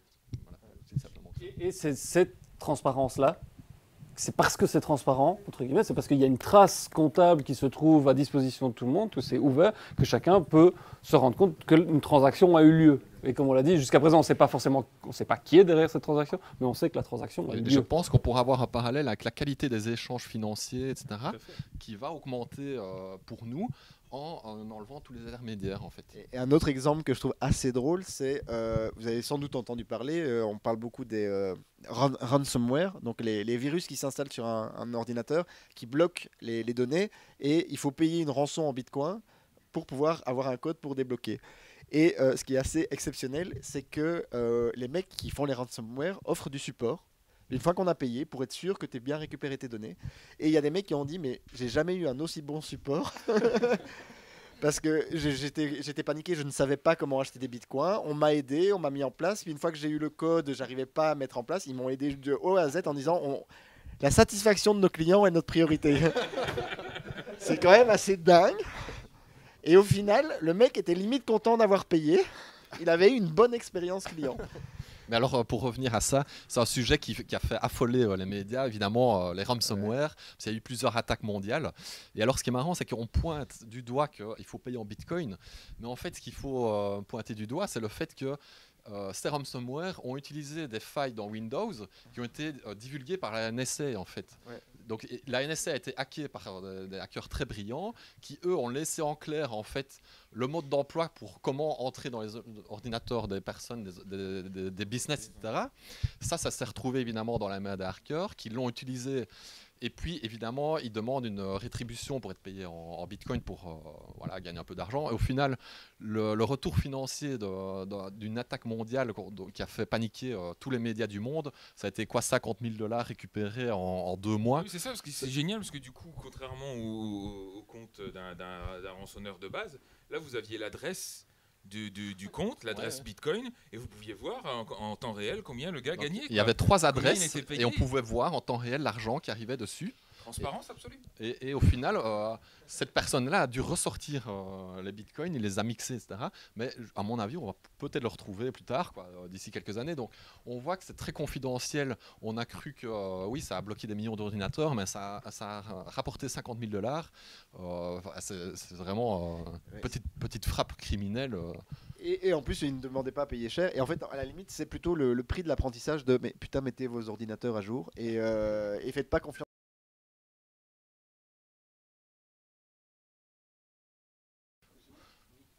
Donc euh, voilà, c'est pour dire que les médias n'ont pas pointé du doigt le problème qui peut nous toucher encore et geler notre économie. Euh, imaginez si ça touche euh, les, fa- les- les producteurs d'électricité, etc. On aura de gros soucis. Et là, coup de bol, ça n'a touché que les hôpitaux. Hein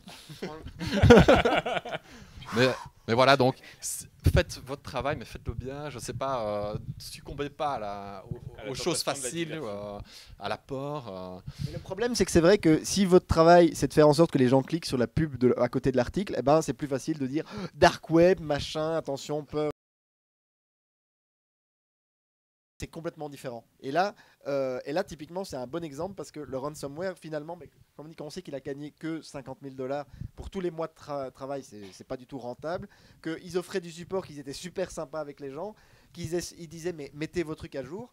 Mais limite, on a envie de dire, c'était limite du travail éthique, quoi. Ils ont rendu service. pour tous les risques qu'il va, prendre euh, de plate juri- juridiction. euh, ouais, voilà.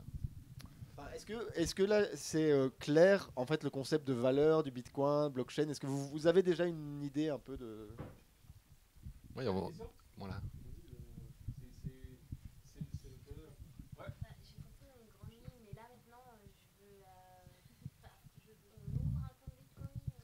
Alors, il y a, il y a deux façons en gros d'acquérir du Bitcoin. C'est soit vous minez, soit vous en achetez. Je schématise, mais en gros c'est ça. Alors miner du Bitcoin aujourd'hui, ça demande d'acheter des gros serveurs, de louer beaucoup d'espace avec de la climatisation, d'aller déménager en Chine, c'est chiant. Franchement, c'est chiant.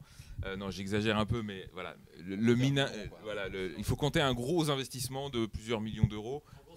C'est un, peu- un comme l'or, quoi. Tu Ouais, peux, tu ça. peux euh, en trouver à terre euh, ou même dans des rivières près de chez toi. Ça va, te- ça va te, te demander beaucoup de temps et tu vas pas trouver grand chose. Pour que ce soit rentable. Mais tu peux convaincre des gens d'aller faire une mine euh, en Afrique du Sud. euh, voilà, donc c'est un peu le même, euh, même principe. Pour que ce soit rentable, ça demande un gros investissement. L'autre alternative, c'est que maintenant il existe des places de marché, c'est-à-dire des sites sur lesquels ben, il y a des gens qui sont là pour vendre des bitcoins contre de la monnaie fiat, et inversement, vous pouvez en acheter en, contre des euros. L'exemple, enfin le, le site euh, que- qui est le- un des plus utilisés aujourd'hui s'appelle Coinbase. Vous allez là-dessus, vous créez un compte. Alors il faut savoir que Coinbase, eux, ils sont soumis à la législation des banques, donc vous devez fournir votre pièce d'identité. américaine Ils sont américains. Oui, ils sont américains, oui, mais vous pouvez, même si vous n'êtes pas américain, vous pouvez vous identifier. Et vous créez un compte Bitcoin chez eux. Et là, vous pouvez commencer à acheter des Bitcoins contre des euros. Il faut faire un Euh, virement avant. Il faut faire un virement ou payer avec votre carte de crédit, tout ça c'est possible. Et c'est assez simple. Le danger, attention, ça j'insiste toujours là-dessus, c'est que votre compte en Bitcoin, votre, votre compte bancaire, si vous voulez, Bitcoin, il est hébergé chez Coinbase. Donc, le jour où Coinbase se fait hacker, vous l'avez dans le baba. Donc, gardez toujours à l'esprit que c'est mieux d'avoir un compte Bitcoin chez vous, sur votre ordinateur, en plus de celui que vous avez sur Coinbase, par exemple. là, là, je, je tempère parce que pour la plupart des gens, votre ordinateur n'est pas vraiment sécurisé. Hein. Euh, donc, euh, c'est pas une bonne idée d'avoir euh, son compte Bitcoin sur un ordinateur où euh, on installe des Où logiciels. il y a des virus, il est connecté à Internet, etc. connecté à Il y a Internet et des- tout ça. Vous comprenez bien que c'est voilà, c'est tendu parce que vous gérez de la valeur. quoi. Ouais, donc, euh, alors quand, quand on joue. euh, mais alors, il y a deux aspects à la question qui est intéressant c'est que le fait de se dire j'ai envie d'acheter des bitcoins, mais c'est ça qui va donner la, la valeur. C'est Qu'est-ce que c'est une place de marché? Ah oui. Oui, oui, Ça, un moyen. Euh, bah, tu vas pas pouvoir. C'est que qu'est-ce qui, qu'est-ce qui, qu'est-ce- c'est ça qui donne la valeur. Qu'est-ce que c'est une place de marché? C'est simplement qu'est-ce que c'est le prix? Je crois que Mathieu il est, il est meilleur que moi pour expliquer c'est quoi le prix. Pourquoi est-ce que le Bitcoin vaut aujourd'hui 3000 euh, Bah, c'est l'offre et la demande en fait. euh, Donc il n'y a personne qui fixe le prix. C'est juste que tu dis, moi j'ai envie d'acheter un bitcoin, je suis prêt à mettre 1000 balles. Non, allez, 2000, 3000. Non, 3000, pas plus que 3000. Mais si personne ne veut vendre à 3000, et puis il y a un moment où ça se rencontre. Et il y a toujours un moment où ça se rencontre. Et c'est ça qui fixe le prix de tout. Les, les- les œuvres d'art, le, le kilo d'or, le... tout se fixe sur les marchés. Le- L'échange entre l'euro et le dollar, euh, l'euro, le yen, euh, tout ça, c'est juste parce que les gens décident, ouais, non, ça je garde. euh, et ça se base sur des décisions parfois irrationnelles, mais où j'ai plus confiance en l'économie américaine, donc je vais transférer mes, do- mes, mes euros en dollars. Bon, c'est pas toi avec tes. euh, mi- enfin, je, je- je dis toi, mais peut-être que tu es multimillionnaire. Et que, euh, mais euh, même, c'est pas avec 10 000 ou 100 000 euros qu'on on fait fluctuer une économie, mais quand on a les banques qui décident de jouer avec des millions là-dessus, ben, c'est ça qui fait fluctuer la valeur. Et le bitcoin, mais qu'est-ce qu'il, c'est tout simplement ça, c'est qu'au départ, il y a l'exemple célèbre euh, que moi j'ai connu où euh, il y a un type, à l'époque ça valait rien le bitcoin, et les gens jouaient à s'envoyer des transactions juste pour le fun, quoi, parce que c'était fun. Et puis il y en a un qui a dit, mais euh, qui, j'offre, je veux acheter une pizza en bitcoin. Et euh, j'offre 15 000 bitcoins, mais ça valait rien, hein, je rappelle que ça valait rien. J'offre 15 000 bitcoins à qui m'envoie une pizza.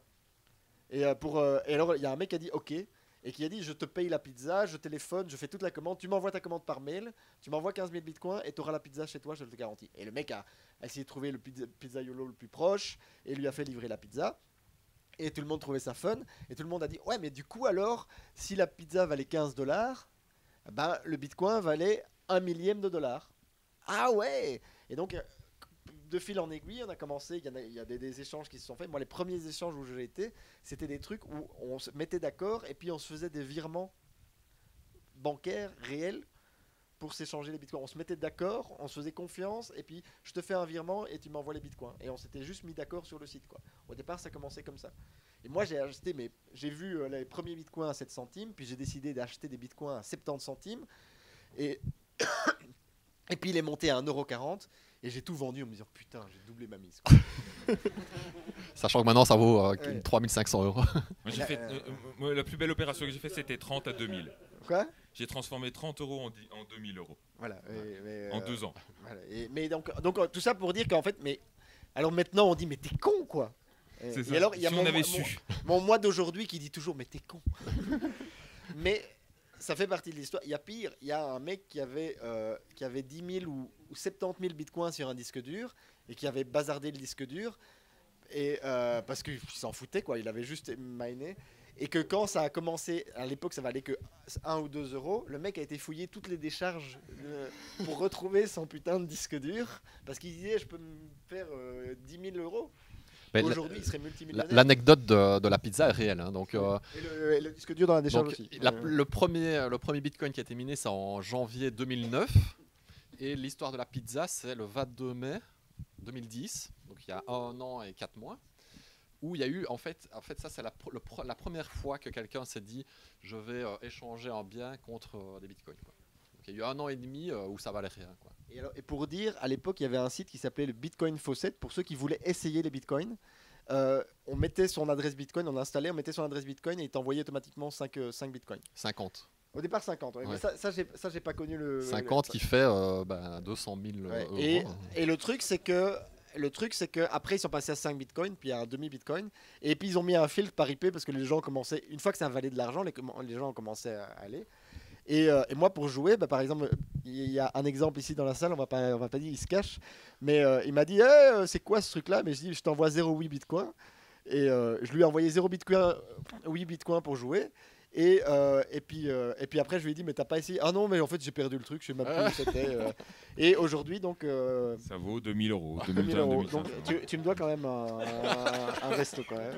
Euh, Mais juste pour revenir sur la sécurité, vous disiez que euh, depuis un ordinateur normal, euh, sécurisé, enfin, comment on s'y prend justement pour être sûr que- Il faut bien voir qu'un compte, euh, un compte euh, Bitcoin, en fait, c'est deux gros, c'est deux gros chiffres. C'est un gros chiffre qui est votre numéro de compte, en fait, que vous utilisez pour euh, le donner à quelqu'un pour qu'il vous envoie des bitcoins. Qui est public. Et le, et le deuxième gros chiffre, c'est votre, c'est votre mot de passe. C'est la clé de votre coffre. Si ce mot de passe-là, vous le perdez, vous perdez l'accès à votre argent. Il est là, il y a des bitcoins, vous pouvez voir le. Tiens, tel compte, il y a 10 bitcoins dessus, mais si vous n'avez plus la clé qui vous permet d'y accéder, c'est foutu pour vous. Et si quelqu'un vous pique ce numéro-là, c'est ça le- le- la clé du problème, c'est que si vous pique ce- cette espèce de gros mot de passe, bah, il peut récupérer les, les bitcoins que vous avez. Alors à ce moment-là, c'est le premier qui va dépenser les bitcoins qui gagne. Voilà. Tout Et donc c'est là où on dit que si votre ordinateur n'est pas sécurisé, vous risquez de perdre ce, ce- ce mot de passe et donc du coup de vous faire piquer vos bitcoins. Et donc d'où la nécessité ben, de le tenir à jour, de, euh, antivirus. Ou alors, euh, ou donc ça voilà, donc euh, ça c'est un produit français qui, est, qui est fait par Ledger. Et, euh, et donc voilà, ça coûte 70 euros, 70 euros. Euh, et alors, ouais, 60 70 euros. Tu le connectes par euh, câble USB. Et alors, tu peux avoir, tu as ton, euh, ton on va dire, portefeuille Bitcoin et tu es sûr que ce sera jamais connecté vraiment à Internet en fait. Donc, il n'y aura jamais un hacker qui va pouvoir y accéder. Voilà, c'est banque. un compte C'est- Bitcoin c'est une banque, déconnecté, euh, c'est-à-dire que les, les deux clés dont je parlais, les deux grands nombres, Ne et surtout le nombre privé, ne seront euh, jamais le- sur Internet. ils quoi. sont, ils sont dans la clé et ils y restent. Ouais. Ils ne peuvent pas en sortir. Donc là, même si vous avez un ordinateur qui est vérolé, qui est plein de virus, qui est connecté à tous les réseaux possibles, si vous utilisez ce petit machin-là pour stocker vos, vos bitcoins, ils sont safe. Mais, mais attention parce que je sais plus si c'est celui-là ou un autre, mais il y en avait un où en fait la puce n'était pas sécurisée et donc Juste- Là, il est safe. euh, c'est euh, Le- en fait ils, ont, ils utilisaient une puce qui n'était pas faite pour la crypto et donc en gros avec euh, en l'ouvrant où il y a un mec qui a réussi à faire un logiciel, si tu c'était un truc USB, tu le mets et le mec il lançait son logiciel et il récupérait la clé directement. Donc de nouveau, Là, si vous l'ouvrez, il se détruit. donc euh, de nouveau il y a euh, il- en fait En fait, ce qu'il y a, c'est que ici, de nouveau, alors, on a le choix. Soit on fait confiance à sa propre sécurité, parce qu'on s'est informé, soit on va faire confiance à une banque. Et Coin- Coinbase, c'est une banque. Et donc là, en fait, ben, c'est ce que vous faites tous les jours, vous faites confiance à une banque. Donc ben, Coinbase, mais euh, il y en a plein d'autres. Et euh, ben, par exemple, il y a le, le célèbre MTGOX qui s'est cassé la gueule. Euh, ben, C'était une banque où les gens faisaient confiance. Et, euh, et, moi, au tout début, j'ai perdu énormément de Bitcoin. Pas sur MTGOX, parce que là, j'ai eu du flair, mais j'en ai perdu sur. À un moment, je m'étais dit, oula, il y a des échanges qui se cassent la gueule partout. J'ai mis des bitcoins sur chaque échange et j'ai perdu plus ou moins la moitié. Mais c'est parce que, euh, ben, à l'époque, euh, faut dire qu'à l'époque, ça valait rien. Donc, mais mais c'était parce que ben, ça commençait à avoir, à avoir un peu d'argent, mais j'avais aucune idée. Et euh, mon PC, il n'y avait pas ces trucs-là. J'avais pas non plus la confiance absolue en mon PC, donc j'en avais sur mon PC, j'en avais un peu partout. Je sais que j'en ai perdu, mais j'ai voilà, c'était le truc que je préfère prendre des risques un peu partout. Euh, Pour la petite blague, le, le- moyen le plus sécurisé de conserver des bitcoins, ce qu'on appelle le stockage à froid. C'est-à-dire que le grand nombre dont je parlais tout à l'heure, votre clé privée, vous l'imprimez sur un bout de papier, hein, sous forme de QR code ou même la série de chiffres. Et le bout de papier, vous le stockez dans un coffre à la banque. Merde et, alors, mais ce qui est marrant, c'est que ce, qu'on appelle le cold wallet, c'est que donc c'est quelque chose où même si on pique, on, pique votre PC ou quoi, on ne sait pas accéder à ce code qui est écrit euh, quelque part. Bah, chez MTGOX, c'est ce qu'ils avaient. Comme tous les, ils ont ce qu'on appelle le hot wallet juste pour les échanges, pour quand les gens retirent des bitcoins, ils ont donc la, caisse, comme dans un magasin, la caisse enregistreuse. Et le cold wallet, c'est un peu le compte d'épargne. Et ce qu'il y a, c'est qu'à MTGOX, quand ils se sont rendus compte qu'ils étaient hackés, on avait piqué le contenu de la caisse. Ben là, c'est pas très grave, ils perdent de l'argent, mais ils sont capables de rebondir parce qu'ils font beaucoup de bénéfices. Mais ils ont dit, oulala, il faut pas que les- nos clients s'en rendent compte. Donc on va aller chercher sur le cold wallet et on va remettre dans la caisse. Ils sont allés chercher sous le matelas et les remettre, et les remettre en caisse. Et ils ont fait ça et le hacker a, con- a continué à siphonner en disant, eh cool. et il a siphonné tout le, le cold wallet de MTGOX comme ça parce que euh, MTGOX a continué à remettre. Donc euh, tout ça, au lieu de dire, ça arrive régulièrement, des, euh, maintenant les échanges qui se font hacker, qui disent on a perdu autant. Ce qui marche le mieux, c'est la transparence. Ils disent ok, on a perdu autant, mais c'est pas grave, on est d'accord, on a, on a remis en place notre sécurité. Et euh, ben, on, on le paye, ça fait partie des risques du business. On s'est fait hacker certains bitcoins, mais rassurez-vous, nos clients, vos comptes sont safe et on vous remboursera tous. Aujourd'hui, il y a des entreprises, il y a des fonds d'investissement qui se financent en Bitcoin, qui financent de, de- de la croissance et des entreprises qui acceptent d'être financées sur le Bitcoin. On- alors, je n'ai pas les, les- les derniers chiffres, mais euh, quand on regarde les, les principaux euh, business angels, les principaux VC euh, de la Silicon Valley, ont tous investi dans cette technologie, enfin, dans, en tout cas dans y cette... compris euh, les fameux jumeaux Winklevoss. exact. Euh, ce qui veut dire quand même qu'il y a. Alors, l'appétit du gain, oui, ça je pense que c'est c'est assez clair. Euh, mais c'est aussi quelque part une validation du proof of concept qu'il y a peut-être le Bitcoin qui existe, mais il y en a plein d'autres aussi. Et on va parler un peu de ça aussi maintenant, peut-être pour. euh, Il y avait une question. oui, oui, il y a d'autres remarques, d'autres questions? Donc, euh, Coinbase, c'est un échange hein, comme un autre. Donc, il y en a, il y en a une- on va dire 4-5 qui sont recommandables euh, ici en Europe. Mais le problème, c'est toujours qu'au final, eux ont tes bitcoins en fait. hein. Euh, il faut savoir qu'on a parlé beaucoup de hack, mais Bitcoin en lui-même, ça fait 9 ans qu'il marche il n'y a jamais eu de problème. Jamais personne n'a perdu de l'argent, enfin des bitcoins. Il n'y a jamais eu de hack sur le bitcoin lui-même. Mais dès que on met des bitcoins sur un échange qui, eux, ont tes bitcoins et, et tes clés privées, en gros, c'est là qu'il y a eu des, problèmes, comme euh, MTGOX a été cité. Donc voilà, moi, euh, Coinbase, bah, c'est un échange, donc il y a toujours un risque que eux euh, fassent une erreur et perdent une partie substantielle ou pas des bitcoins euh, de leurs clients et se retrouvent chez un hacker. Dans ce cas-là, c'est irréversible, on ne sait pas revenir en arrière. Donc voilà, ça c'est le risque systémique d'avoir tes bitcoins ailleurs. En fait, ces échanges, donc ces places de marché, c'est, pour prendre un jeu de mots euh, assumé, c'est le maillon faible du système. C'est-à-dire que euh, tout le système de Bitcoin est décentralisé et il y a beaucoup de travail qui est fait pour le maintenir décentralisé, mais ces échanges-là sont centralisés. C'est une bonne grosse base de données à papa avec un seul euh, mot de passe qui sécurise tous les comptes avec toutes les clés stockées au même Et puis c'est la cible, euh, la cible rêvée. C'est hein. le pot de miel rêvé pour les, pour les, pour les hackers. Donc ces échanges-là, aujourd'hui, sont la faiblesse. On n'a pas encore trouvé un moyen de, en tout cas aussi efficace que ces places de marché, pour gérer des échanges ouverts et, euh, et- et fluides euh, entre le dollar euh, US et, ou entre l'euro et le Bitcoin, par exemple. Mais on a, C'est l'espèce de pont qui est à, à la- à la- à cheval entre les deux et qui est un peu faiblard. C'est pour ça qu'on dit toujours, gardez-vous un compte aussi euh, sous le matelas ou dans votre coffre ou peu importe, sur lequel vous gardez vos bitcoins safe parce que Mais un exemple, c'est de- potentiellement de solution, c'est que euh, là, il y a Blockstream a envoyé un, un satellite qui stream la blockchain Bitcoin. Donc aujourd'hui, et il y, en a- il y en a qui ont fait l'exemple, c'est qu'on peut prendre un ordinateur qui est qui a jamais été connecté à Internet, qui sera jamais connecté, auquel on connecte via une antenne parabolique au satellite. Et donc cet ordinateur est capable de faire des transactions Bitcoin sans accéder à Internet. Donc c'est un hackable parce qu'il n'y a que euh, il est que en lien avec la blockchain. Si on rajoute à ça des projets, mais qui sont plus liés à Ethereum, comme euh, Stable Variable euh, Company, de faire des échanges décentralisés dans la blockchain elle-même, on peut arriver à un système où, euh, qui sera parfaitement sûr, où on aura des devices qui communiquent directement par satellite, qui communiquent que avec la blockchain, et, euh, et donc qui sont sur le réseau économique. euh, et qui sont donc à un câble. Mais alors du coup, le, maillon faible, c'est toujours ben, si on te pique le device. Et c'est le maillon faible quand on dit bah, tu écris ton cold wallet quelque part. Le problème, c'est que quand tu as ton bout de papier et que tu te rends compte que putain, mais où je vais le foutre ce bout de papier? Si, euh, bah, si, si tu as 500 euros dessus, c'est pas très grave. Mais si tu as 1 million d'euros sur ton bout de papier, t'es soudain, t'es plus à l'aise de l'avoir chez toi en fait. Bah, il faut souvent faire des copies, mais alors il faut être sûr que Ouais, tout chaque soit cop- bien trop pro- chaque, protégé, copie, quoi. chaque copie soit protégée. parce que j'ai acheté des euh, bitcoins net sur euh, Coinparty. Mon frère a voulu acheter des satoshi sur euh, Coinbase hier.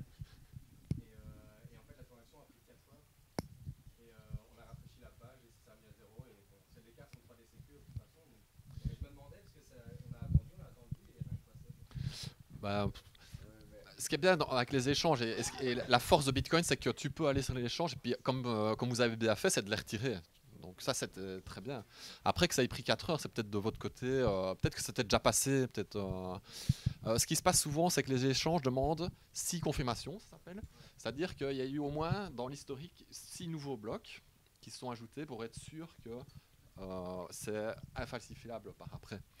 Peut-être que ces six confirmations ont pris 4 heures. Ça peut arriver, statistiquement, ça peut. euh, normalement, ça va prendre si une heure. Il y a un bloc, voilà, c'est ça, un bloc toutes les 10 minutes. Donc, si confirmation, c'est le heure. délai euh, qu'on, qui nécessite, euh, enfin, qu'on demande pour avoir une transaction absolument infalsifiable.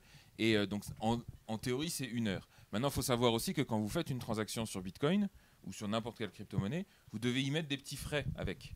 Vous devez y mettre un petit, un petit montant qui sert, en fait, qui va, qui va venir payer les mineurs aussi. Et, euh, et ces frais de transaction-là, plus ils sont élevés, et plus les mineurs ont intérêt à, l'intégrer tôt dans le ledger. Mais si vous, mettez des, tout petits frais, ben, ils, vont, le- repousser à plus tard jusqu'à ce qu'il n'y ait plus d'autres transactions à prendre. Donc des, fois, c'est ça aussi qui, fait le, délai. Sur des petits montants, donc avec des petits frais, ça peut prendre un peu de temps.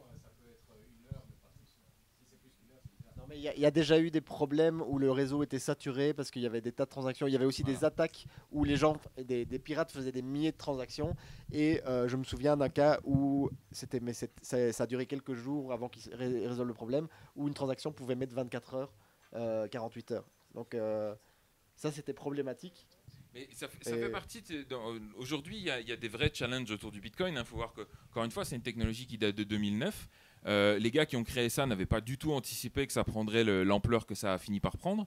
Et donc, il a été prévu en fonction d'un certain contexte. Euh, L'Internet de, de 2009, c'est pas l'Internet qu'on a aujourd'hui. Le nombre d'utilisateurs connectés à Internet, c'est pas le même non plus. Et l'intérêt de ces transactions n'est pas le même. Bitcoin, aujourd'hui, est capable de gérer 7 transactions par seconde. Ça vient d'augmenter il y a quelques mois parce qu'il y a eu un, un petit changement. Je crois qu'on est passé à 10 ou 11, un truc comme ça. Mais on est très très loin d'un réseau comme Visa ou Mastercard qui va vous processer, mais les doigts dans le nez sans même y regarder, 2000 transactions par seconde. Et en période de fête, ça va être euh, 40 000 transactions, mais là encore sans broncher. Quoi. Donc on est loin de ces réseaux-là, et dès que le réseau devient saturé, dès qu'on atteint cette limite de 7 transactions par seconde, fatalement les frais de transaction augmentent, et récemment ça a coûté jusqu'à 1 euro, 1,20$, je crois, de faire une transaction quel que soit son montant.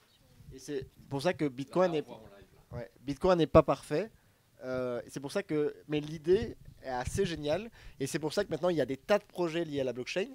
Il y a des tas de blockchains elles-mêmes qui veulent soit dire, mais le concept de blockchain est, génial, mais on veut l'utiliser à autre chose que juste transférer de la valeur. Soit on veut transférer de la valeur d'autre chose. Par exemple, ben, tu as dit Monero, Monero, Zcash et Dash sont trois projets qui ont leur propre blockchain dont l'intérêt c'est que c'est 100% anonyme, ce qui n'est pas le cas de Bitcoin vu qu'on peut retracer. Donc là, l'idée c'est de faire du cash vraiment anonyme, de résoudre ce problème-là de Bitcoin. Euh, Il y a l'Ethereum, et là je vais laisser Sébastien en parler, parce que qui, qui élargit complètement le, le concept de la blockchain euh, en, en machine euh, universelle.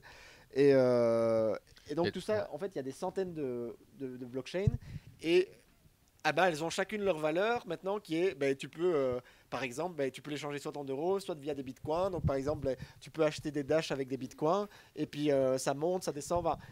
Tout ça, c'est une économique. De... C'est pour ça quand on parle de la blockchain, il faudrait dire les blockchains. Et là, j'insiste sur le, le, chose, c'est que maintenant, c'est devenu un, un mot buzzword dans l'industrie. On parle des blockchains, il y a des blockchains privées. Une blockchain n'est une réelle blockchain telle qu'on l'entend que si elle est 100% publique et si elle est distribuée en peer-to-peer. Parce que les entreprises qui disent Ah, on fait de la blockchain privée en interne, mais vous faites une base de données, vous êtes gentil. Mais une base de données où s'il y a un mec qui contrôle la blockchain, c'est un mec qui contrôle la base de données, c'est pareil. Alors ça peut être intéressant dans certains cas. De, donc IBM a, a utilisé des blockchains, a, a- d- développé des blockchains privées, notamment pour les transporteurs, pour pouvoir suivre l'évolution. euh, C'est-à-dire que chaque élément de la, du transport, de la chaîne de transport, de, la pièce X depuis la Chine à travers l'Afrique du Sud jusqu'à l'Europe, ben, il, va, il va rajouter son bloc et on ne peut pas falsifier par après. Ben, euh, on sait à tout moment où est la, pièce. Mais ça n'a pas de valeur en, tant que tel. Le token n'a pas de valeur parce que ce n'est pas diffusé. Il y a toujours une personne qui contrôle la blockchain. Donc euh, ça, j'insiste. Il y a les blockchains privées. Ce sont des bases de données, en fait, un peu évoluées. Et il y a les blockchains publiques. Et là, ben, ben, voilà, euh, je pense que ça, ça... Ça, c'est, je crois qu'aujourd'hui, ils en sont à plus de 700 euh, si vous allez sur CryptoCompare, vous avez une liste de plus de 700 euh, blockchains et Et- la plupart sont ce qu'on appelle des altcoins, c'est-à-dire on a C'est quoi ça IOP Je l'ai raté celui-là. euh, Et tu viens de faire 30% et je. euh, pas, pas Internet of. People.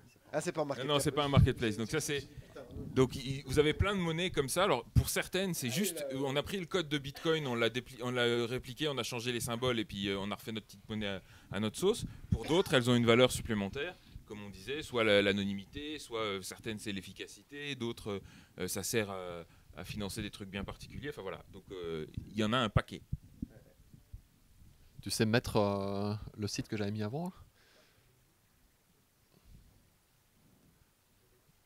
Je sais pas ce que c'est, mais là, ça, ça s'écrit sexuel. Donc ça, ça ici, c'est Dans Messenger Ouais, ouais, sexuel terroriste, c'est un pote. C'est vrai en plus. tu sais un peu descendre comme ça on voit. Ouais.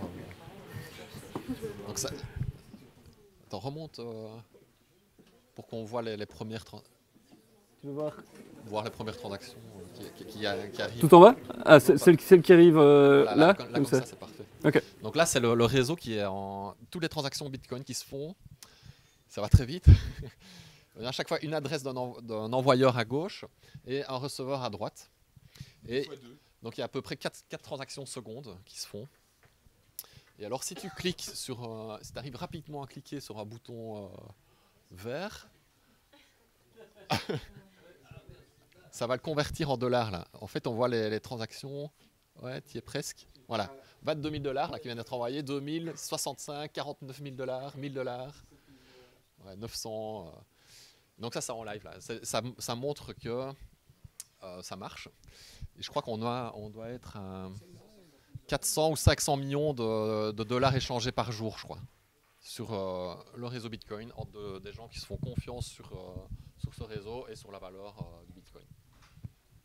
D'autres questions euh, sur, ce registre aussi, avant qu'on parle peut-être un peu d'Ethereum aussi. Puis on, verra avec toi aussi, Léo, les implications que ça peut avoir sur d'autres aspects de notre vie en société. Comme ça, on essaie de rester dans le timing aussi sans, sans trop déborder. On va essayer de pas aller plus loin que 21h, donc on a, on a encore une bonne demi-heure. Ouais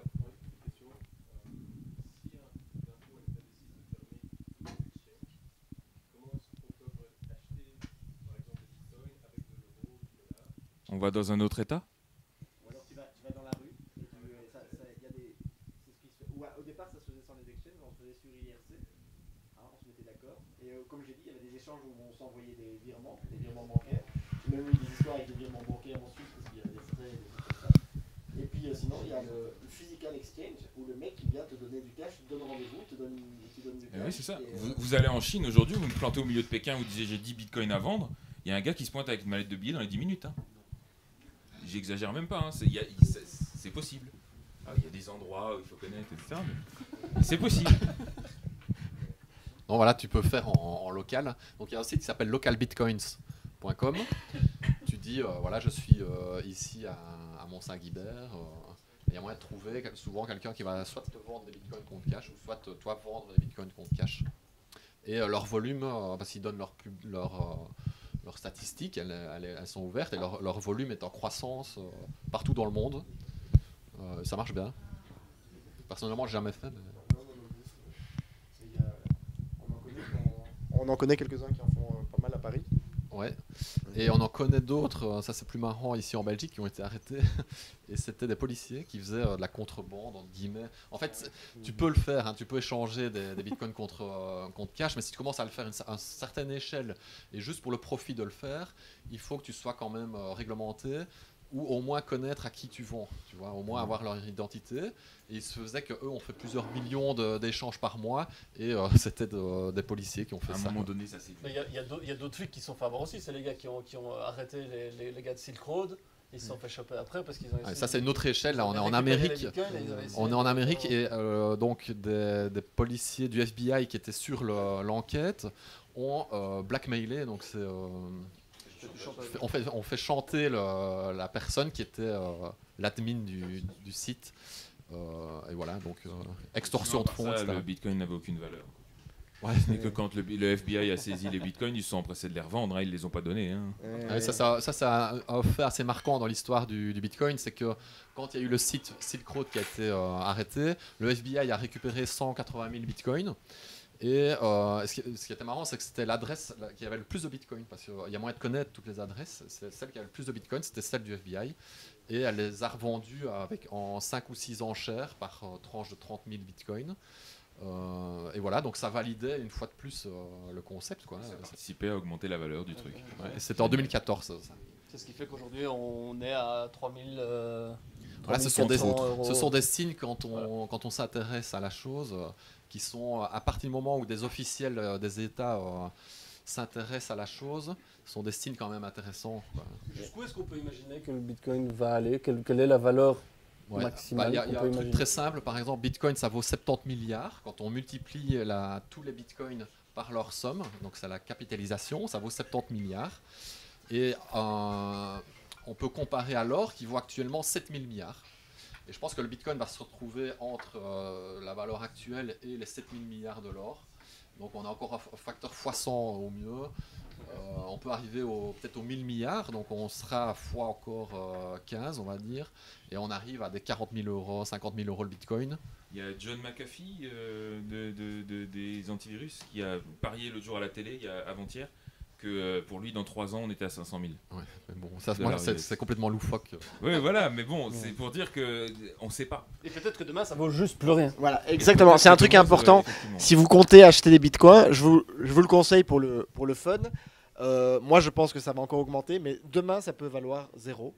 Et donc, euh, ne pariez pas votre avenir là-dessus. C'est quand même super important. Euh, ne mettez que de l'argent que vous considérez que, ben, au pire, je le perds, je l'ai Mm. perdu. Quoi. C'est du gambling encore à l'heure d'aujourd'hui. hein. Et... Moi, je suis pas t'es Moi, je fait donne un d'accord. autre avis, Ok. euh, qui serait un meilleur conseil. Ben, je vous avoue, premier conseil, écoutez d'abord Mathieu. Non, mais il y a, il y a ce- il y a cette, cette chose qui revient souvent ne mettez pas plus d'argent que vous êtes prêt à perdre. Euh, je suis totalement d'accord. Euh, maintenant, moi, euh, je vais dire euh, ne prenez pas mon conseil directement. Mais ce que je veux dire, c'est imaginons que vous êtes prêt à perdre 2000 euros. Voilà. Vous avez ça que vous êtes prêt à perdre. Mais vous avez quand même 20 000 euros de disponibles. Bah, ess- essayez d'acheter peut-être 20 000 euros de bitcoin. Et à partir du moment où ça redescend à 18 000, vous avez perdu 2 000, vous sortez. Donc ça permet un peu de démultiplier un peu votre investissement. Je pense qu'on à une époque quand même euh, de early adopters, encore au tout début de la technologie. Vous êtes venu euh, au bon, bon endroit au bon moment. Je pense qu'il y a, voilà, euh, essayez peut-être de prendre un peu plus de risques. Mais euh, là où, en fait, moi j'insiste sur euh, pourquoi c'est pour moi une prise de risque, parce que s'il n'y a pas que la valeur, il y a tous les hacks, euh, il y a le fait de son, votre PC qui crache, votre backup Ouais. qui était mal foutu. Alors évidemment, faites-le avec une personne avisée à ce moment-là. hein. Ouais, donc, donc ça veut dire qu'aujourd'hui, moi qui suis ingénieur en informatique et qui suis là-dedans, je me fais pas 100% confiance pour, pour sécuriser complètement. Euh, donc je, je diversifie parce que je me fais pas, je sais que j'ai pas une solution miracle. Euh, j'ai, euh, Cadeau. que-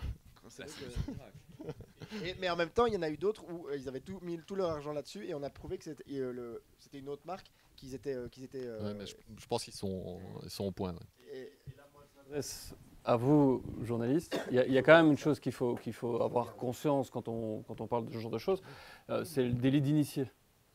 D'accord Euh, Moi, à part les 0,8 euh, bitcoin que Lionel m'avait envoyé et que j'ai lamentablement losé, euh, je n'en ai jamais racheté par après en me disant si je veux continuer à pouvoir en parler de ce phénomène, si je veux qu'il y ait de la confiance entre les échanges que nous on peut avoir, que moi je peux avoir en tant que journaliste avec des audiences potentielles, il ne faut pas que je sois suspect de prise d'intérêt illégale derrière. Le simple fait d'en parler augmente, et augmente ou diminue d'ailleurs la valeur de- de ces, de ces monnaies-là. Et donc jusqu'à présent, et je ne dis pas que ce sera toujours le cas, parce qu'il y a peut-être, et on le verra après, il y a d'autres monnaies qui vont pouvoir se, se- créer, d'autres manières de pouvoir échanger de la valeur qui vont pouvoir se créer, dont notamment peut-être pour financer du journalisme, et ça je l'appelle de mes voeux. Mais jusqu'à présent, je me suis bien gardé d'aller en acheter et d'en avoir, parce que ça me permet de continuer à pouvoir en parler si je suis suspect d'avoir en donné vouloir en parler, ce qu'on est en train de faire ce soir, si j'ai du Bitcoin, je peux être suspect de dire bah, ça, va, ça va aider à faire augmenter la valeur. Tout le moins de, de discloser, enfin de, un disclaimer De en disant je, voilà. je- je dispose de autant de bitcoin. et- Ça, me- ça- ça permettrait en tout cas de dire de manière très claire, voilà mon full disclosure, voilà comment je gagne ma vie, et voilà éventuellement si j'ai des bitcoins. Pour moi qui suis euh, incapable de gérer ça de manière, si même Lio n'est pas capable de le gérer d'un point de vue sécurité, c'est pas moi qui vais réussir à le faire. J'ai déjà montré que j'étais lamentablement euh, failable sur, sur ce coup-là. Mais c'est important pour vous là-dessus, de le savoir aussi en tant que futur journaliste. Et ça va être valable pour les autres crypto-monnaies aussi qui, dont on va pouvoir parler par. C'est très bien d'avoir eu ce côté éthique et je pense que intellectuellement, je pense qu'au début d'un- du Bitcoin, quand c'était très confidentiel, c'était en effet peut-être dur de- d'être investi dedans et de donner euh, de l'éclairage sur le sujet. Je pense que maintenant, on est à une époque où maintenant c'est acquis pour tout le monde, euh, que le monde est au courant que Bitcoin existe, que c'est devenu une commodité quasiment. Hein. Euh, C'est pas vraiment une action où c'est-à-dire que ton, ce qu'on fait là aujourd'hui, ça n'a aucune influence. Quoi, tu vois. Donc maintenant, on peut dire que tu peux euh, en avoir sans aucun souci. Et en Amérique, euh, par exemple, des, journalistes financiers doivent juste ne pas avoir un mois avant et un mois après un article sur une compagnie.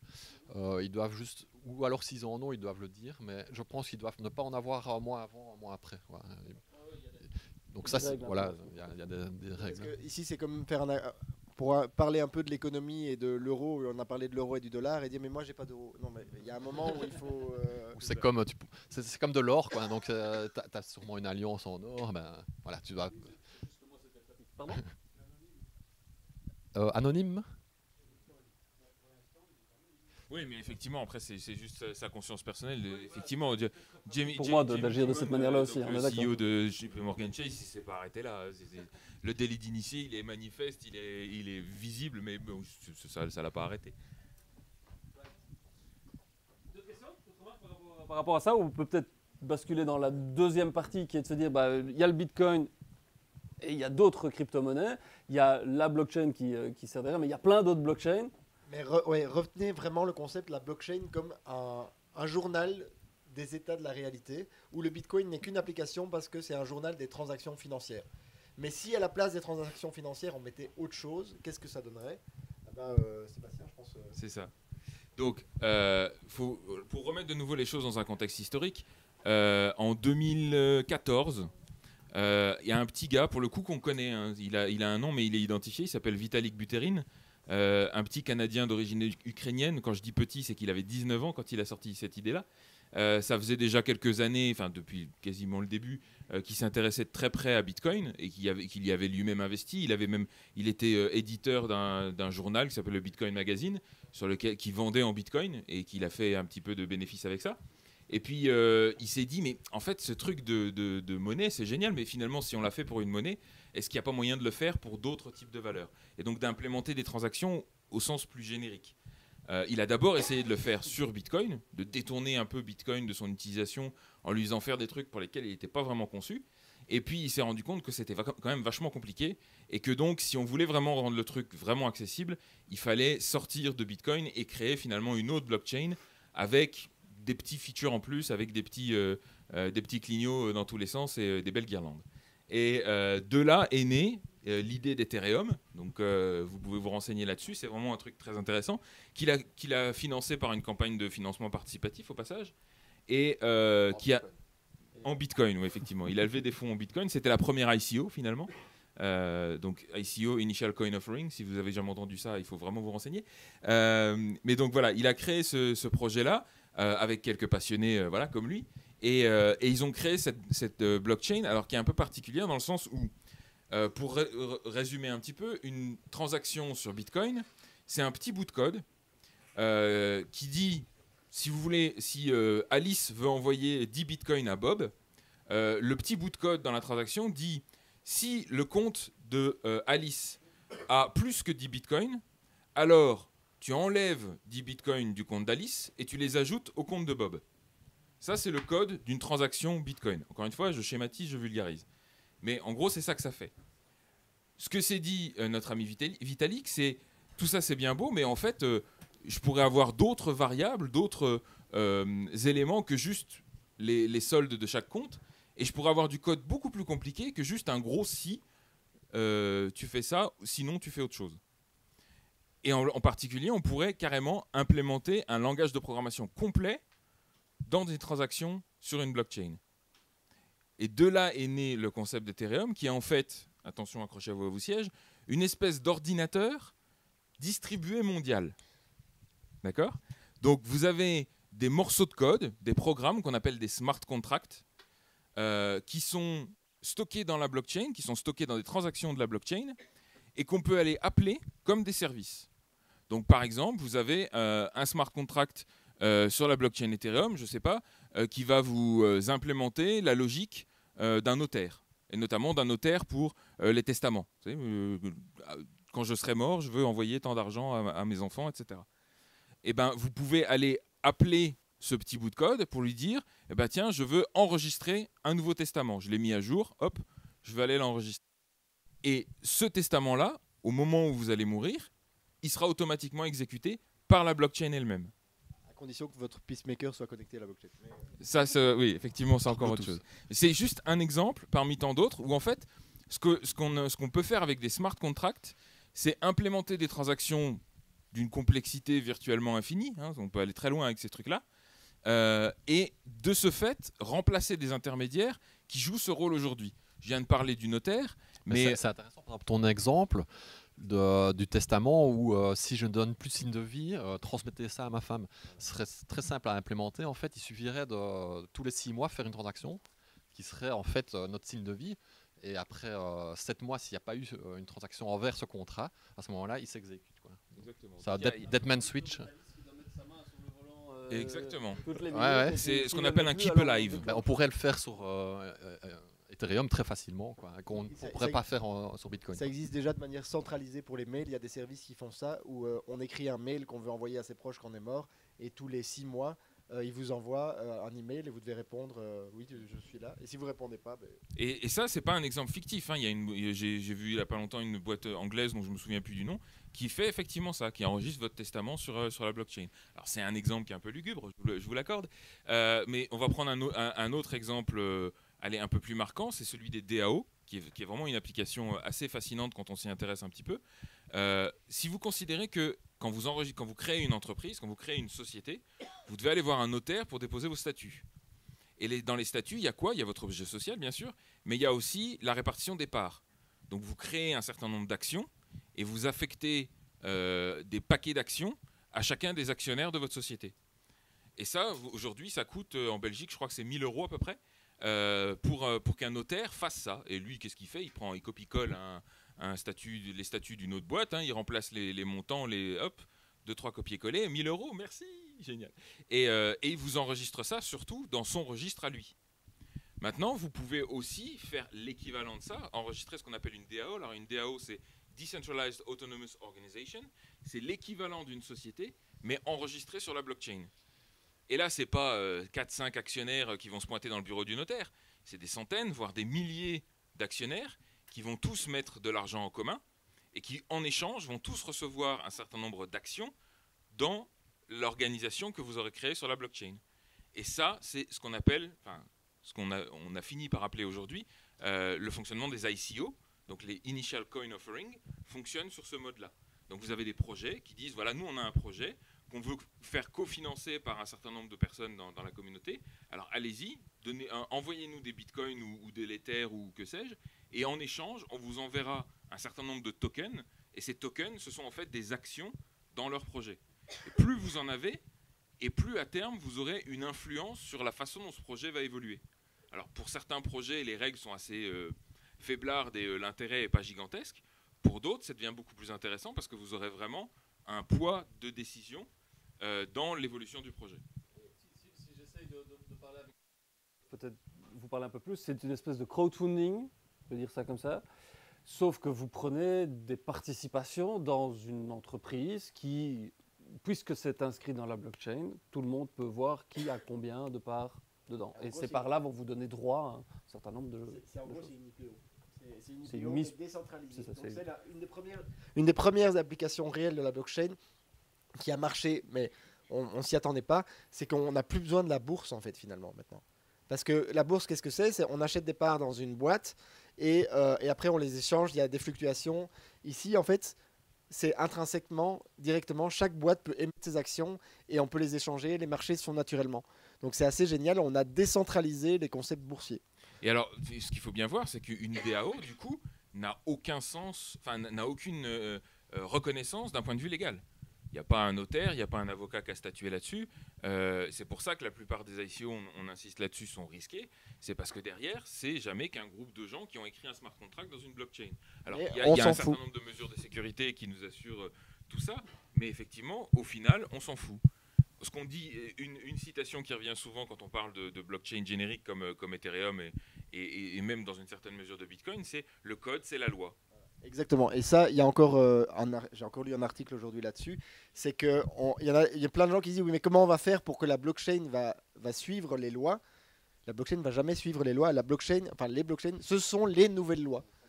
Ils sont en train d'écrire les nouvelles lois d'un nouveau monde. Et ça a complètement du sens parce que aujourd'hui, on a plein de lois qui ont qui ont- qu'on traîne avec euh, des années, des années de retard. Pour changer une loi, il faut euh, 3, 4, 5 ans de trava- travaux parlementaires avec des élections, ils se mettent des, trucs dans les pattes. Et la technologie, elle va tellement vite que ben, une loi qui a été écrite, euh, aujourd'hui encore, on applique certaines lois euh, qui ont été faites au moment de la révolution industrielle pour protéger les ouvriers. Et en fait, ben, le monde n'est plus vraiment le même. Donc est-ce que les lois ont du sens? Mais il faudrait les remettre en question. Et la blockchain, en fait, est en train d'écrire un nouveau set de lois. Et euh, tout comme on a dit, la monnaie se basait sur la confiance dans l'État centralisé, le Bitcoin et les blockchains se basent la confiance sur, la confiance commune, dans le code source et le consensus commun. Et on a créé la monnaie, on est en train de créer les lois, on est en train de créer toutes les ce que j'appelle les institutions. Et donc on est en train petit à petit de créer des alternatives à toutes les institutions qui étaient basées sur l'État et euh, basées sur euh, les entreprises euh, centralisées. Sur l'État-nation. Sur les... Parce qu'aujourd'hui, bah, on peut décider d'avoir un, un- un État qui est Complètement. complètement décentralisé, Alors, qui est en ligne. On partage C'est des. c'est très intéressant parce que souvent, quand on- dans, le, dans le langage courant, on parle d'État-nation. Ouais. Mm. Les deux termes vont ensemble. Euh, Bitcoin nous a démontré qu'on arrivait à faire un système monétaire totalement global, indépendant de toute frontière physique, et du coup, enfin, pas contrôlé par un gouvernement particulier. Ce que nous invite à faire des blockchains comme Ethereum, donc des blockchains génériques, dans lesquels on n'a plus seulement des transactions financières, mais des transactions euh, programmables d'une certaine manière, c'est que on arrive à faire des systèmes de gouvernance, des systèmes d'organisation de notre collaboration en tant que société, qui ne dépendent plus d'un État, ou en tout cas qui ne dépendent plus d'une nation.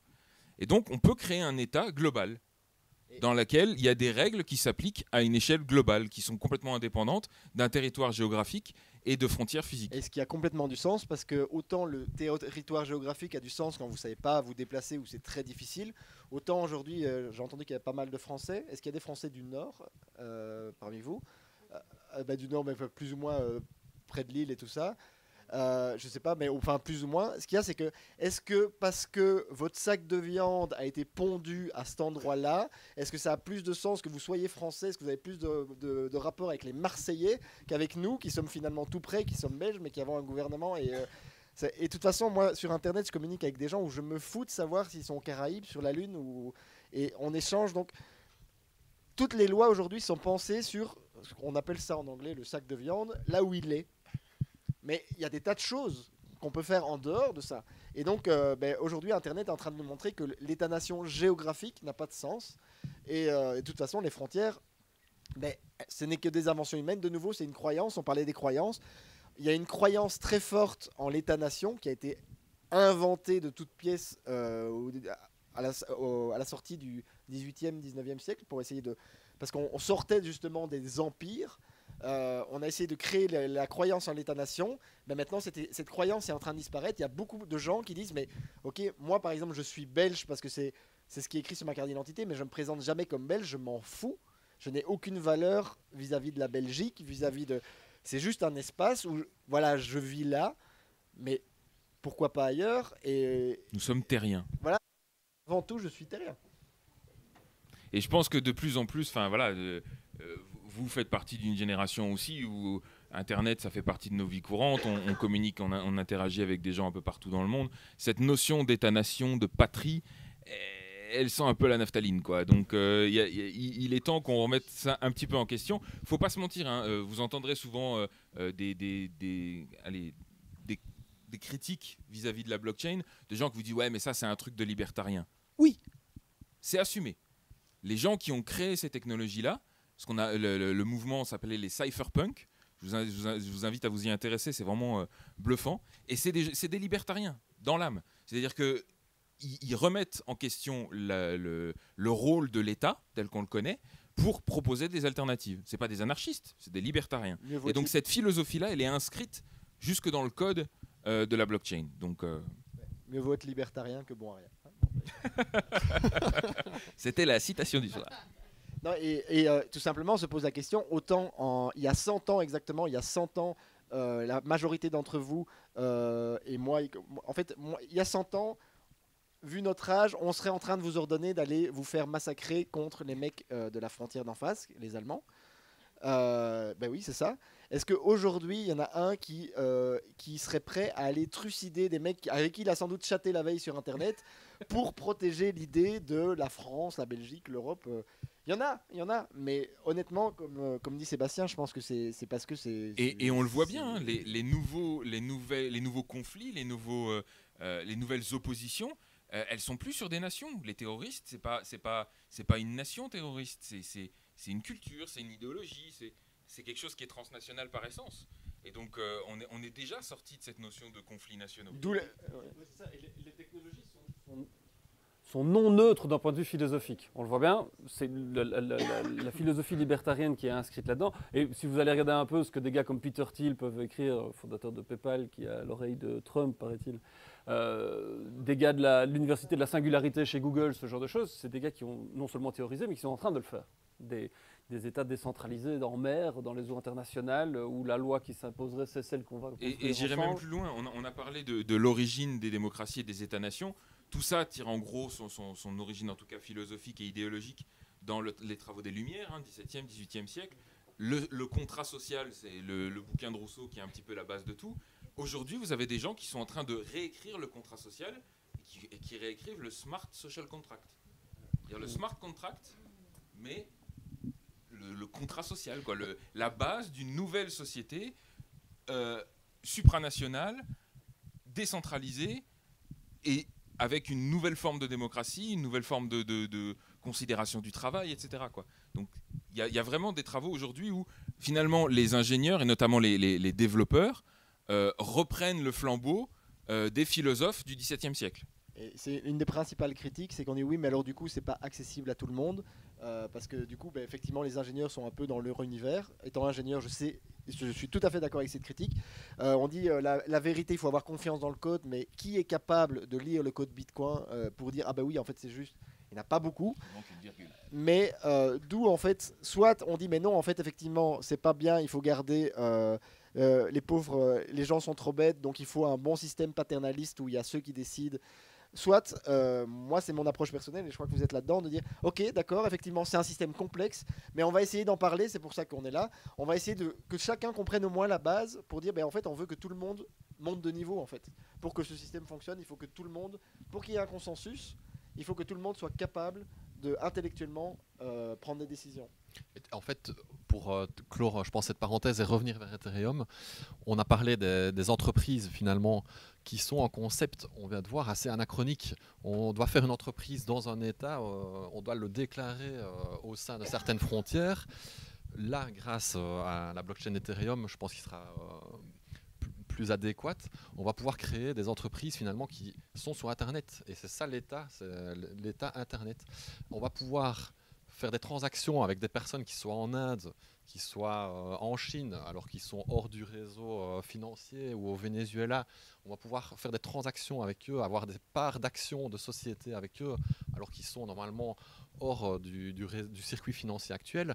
On va pouvoir notamment, cette entreprise va pouvoir donc avoir payé ces personnes-là grâce aux crypto-monnaies. Donc tout ça, c'est pour dire qu'on est, on est à ce pivot-là où on a des entreprises qui sont de, l'autre monde, où elles sont dans des frontières et elles sont au monitor, belge ou français, et on passe enfin à euh, une vision beaucoup plus réaliste, où on, parle avec, comme tu dis, quiconque sur Internet et on peut commencer à créer des business sur euh, Internet.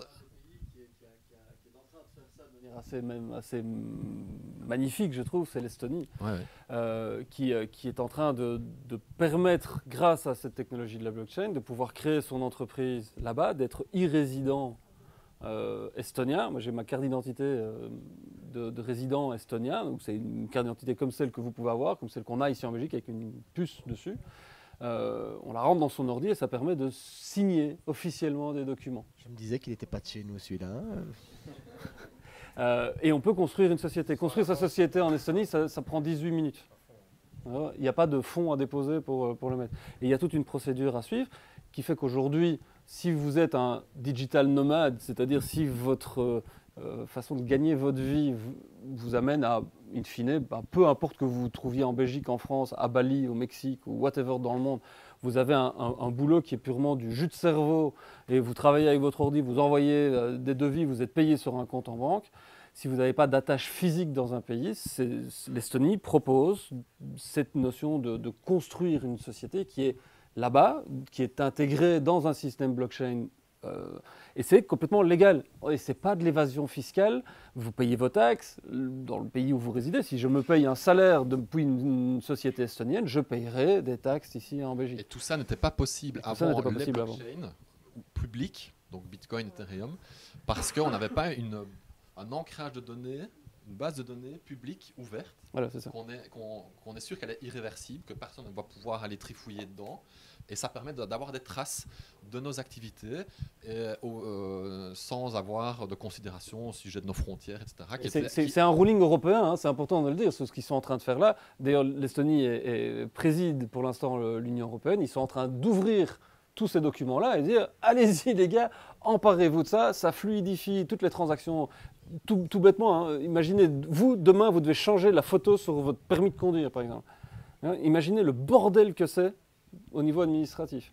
En Estonie, vous rentrez votre clé, vous allez chercher votre nouvelle photo d'identité, vous la mettez à jour, vous signez avec votre, votre carte d'identité et votre photo est mise à jour sur tous vos dossiers partout euh, où l'administration en a besoin. Tous les Estoniens ont leur carte d'identité électronique, fonctionne de cette manière-là. Aujourd'hui, avec le Brexit, le, le taux de création de e-résidents a dépassé le taux natif de gens qui naissent en Estonie. Mais j'ai quand même un, un bémol juste pour dire qu'on dit que c'est tout nouveau. C'est pas tout à fait vrai. C'est que Mm. de nouveau, euh, comme il y avait le- les comptes au Panama, les multinationales avaient hacké les systèmes nationaux. On, on crée sa, société dans le Delaware où ça coûte 1 dollar. On a euh, un centre de recherche à Dublin parce que c'est défiscalisé. On a des comptes aux îles Caïmans. On a plusieurs sociétés en fait qui forment une giga société, une multinationale qui, se, qui permettent d'opacifier les comptes. Et en gros, de nouveau, c'était rentable qu'à partir de quelques mi- millions, quelques milliards. Et en plus, du coup, comme on était très riche, on pouvait lobbyer euh, chaque pays pour avoir les lois qui t'arrangeaient. Et si ça te plaisait pas, ben, là, Google, ils ont installé un data center euh, en Belgique parce que ça leur coûtait que dalle. Ils étaient limite payés pour le faire en disant Ah, mais on va créer de l'emploi. Et alors. euh, les, politiciens wallons ont dit génial, ça va créer de l'emploi. Et en gros, ça a créé 40 emplois parce que c'est juste les gardes de la sécurité et les mecs qui appuient sur les boutons des serveurs. Mais euh, quoi? 300 millions d'euros? Voilà, donc euh, à ce moment-là, les 40, les 40 mecs, moi je préfère leur donner chacun un million et on économise 260 millions, quoi. Hein, euh, et, euh, mais tout ça parce qu'en fait, justement, les, les méga sociétés avaient hacké le système. Donc quand on était riche, on, de nouveau, on n'avait pas besoin de suivre les lois. De nouveau, qu'est-ce que c'est le système ici? C'est que vous pouvez être riche à partir de rien du tout. On parle par rapport à l'Estonie, c'est pas la c'est pas la panacée. hein. L'État estonien s'est déjà fait hacker il y a ouais. déjà eu des problèmes Et en plus, ça, ça pose la vraie question de l'espèce de compatibilité ou incompatibilité entre un État-nation d'un côté, l'Estonie reste un État-nation avec une constitution, avec des, avec des lois, avec un parlement, avec une, des institutions centralisées, et de l'autre, euh, cette notion de décentralisation qu'il y a dans la blockchain. Il y a quelque temps, ils ont annoncé que peut-être un jour, euh, euh, l'Estonie créerait sa propre crypto-monnaie. Ça en a fait sourire certains, ça en a fait pleurer d'autres. Parce que le, le jour où un État décrète qu'il peut créer une crypto-monnaie, ça n'a plus aucun sens. Euh, ça n'a même aucun intérêt, on n'a pas besoin d'eux, on les a pas attendus pour le faire. Et s'ils le font, ça veut dire qu'ils veulent garder un contrôle dessus. Quand vous entendez des, news comme quoi euh, Vladimir Poutine veut créer un rouble en crypto, Euh, ouais, enfin moi je m'inquiéterais. hein. Euh, franchement, je sais pas ce qu'il va mettre dans son code source, mais je veux bien le, le revoir pour voir. C'est encore des suppositions. Le fait est qu'il a beaucoup, a souvent rencontré Vitalik Buterin ces derniers temps.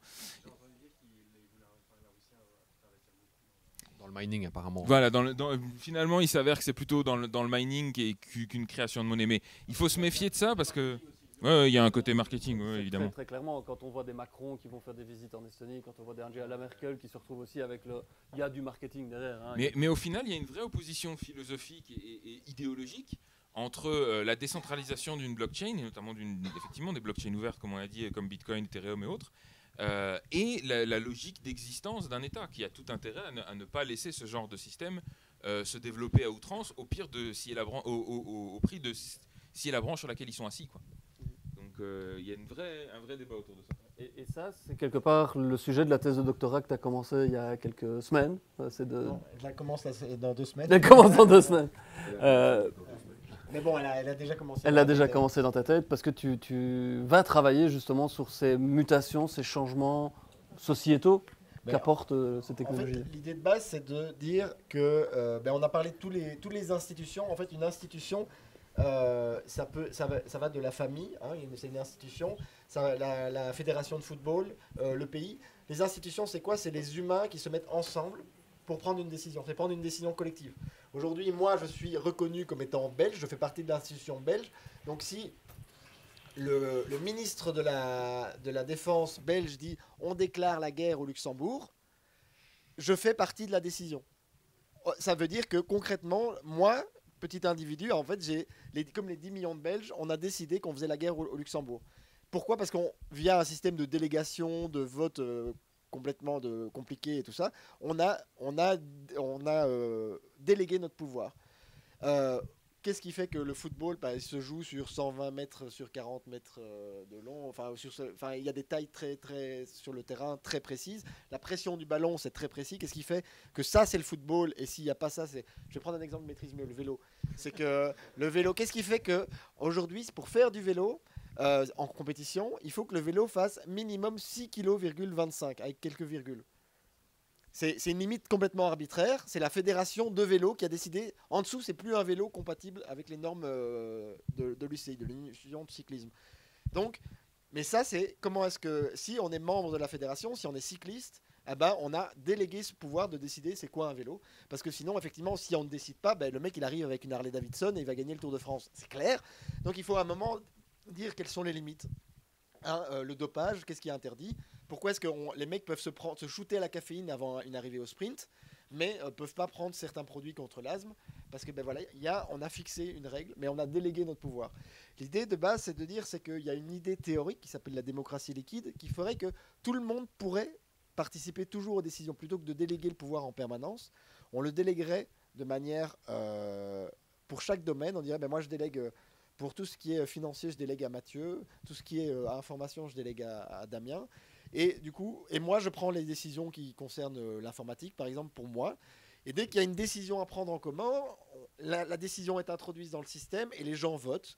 Et s'ils n'ont pas envie de voter, ils ont délégué leur voix. Et via des systèmes de délégation, en fait, on peut avoir des gens qui décident pour des milliers de personnes, mais ils le savent même pas, c'est anonyme. Et donc, on peut avoir des, des gouvernants. En fait, on peut complètement bypasser les institutions. C'est-à-dire que moi, je fais partie de la, de la fédération de foot où tous les footballeurs décident. Je fais partie de la fédération cyclisme où tous les cyclistes dé- décident. Je fais partie de la fédération européenne où tous les Européens font- prennent des décisions là, et euh, on vote. Et ça, c'était un concept complètement théorique. Jusque maintenant, avec la blockchain, on se rend compte que ça devient possible. Alors, on a testé avec Mathieu il y a déjà quelques temps. Un exemple bête, c'est comment euh, dépenser l'argent. Aujourd'hui, vous payez vos impôts et euh, vous faites confiance au mec pour qu'il dépense l'argent. Et vous vous rendez compte que ça se passe pas super bien. Que, en fait, généralement, quand vous, vous allez voir, vous, aurez vous auriez préféré qu'il dépense l'argent d'une manière un peu différente. Pas pour lui-même. Mais ça se passe mieux que quand le mec arrivait avec une épée et me dit je prends la moitié de ta récolte. Ah, Ça se passe un peu mieux. Alors, on a quand même vachement du progrès. Mais on se dit quand même, hein, ça se passe pas super bien.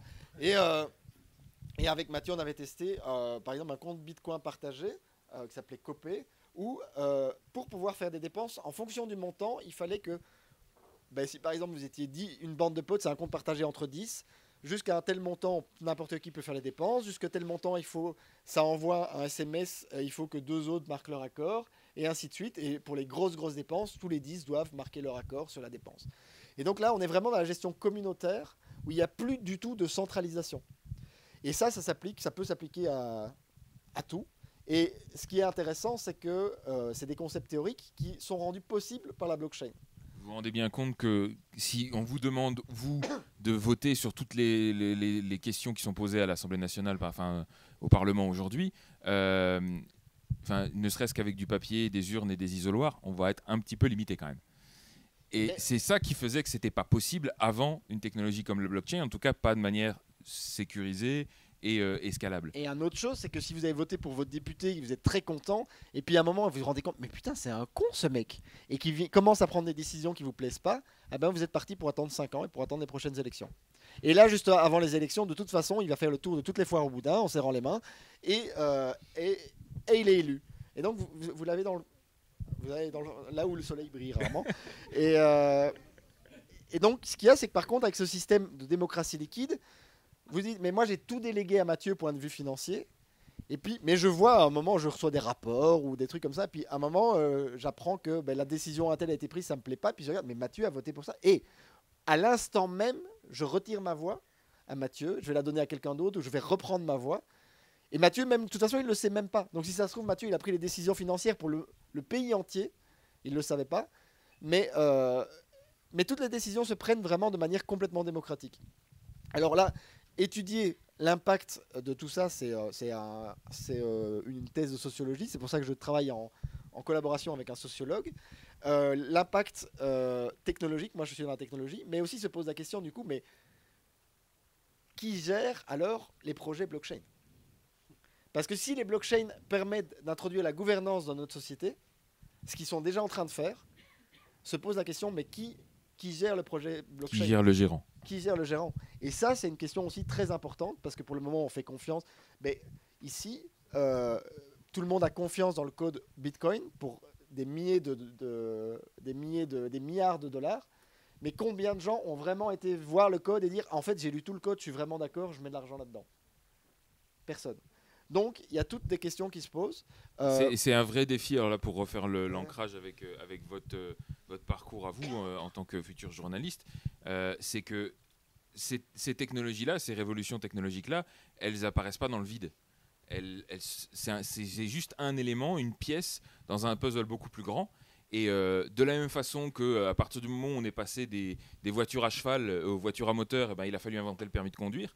Euh, du moment où on va passer euh, de la démocratie représentative à une démocratie liquide, fatalement, il va falloir mieux informer les gens, mieux les éduquer, leur offrir les, moyens d'aller se renseigner eux-mêmes sur des décisions auxquelles ils vont devoir participer, ou au moins de prendre connaissance des opinions et des, tendances de la personne à qui ils veulent déléguer leur vote.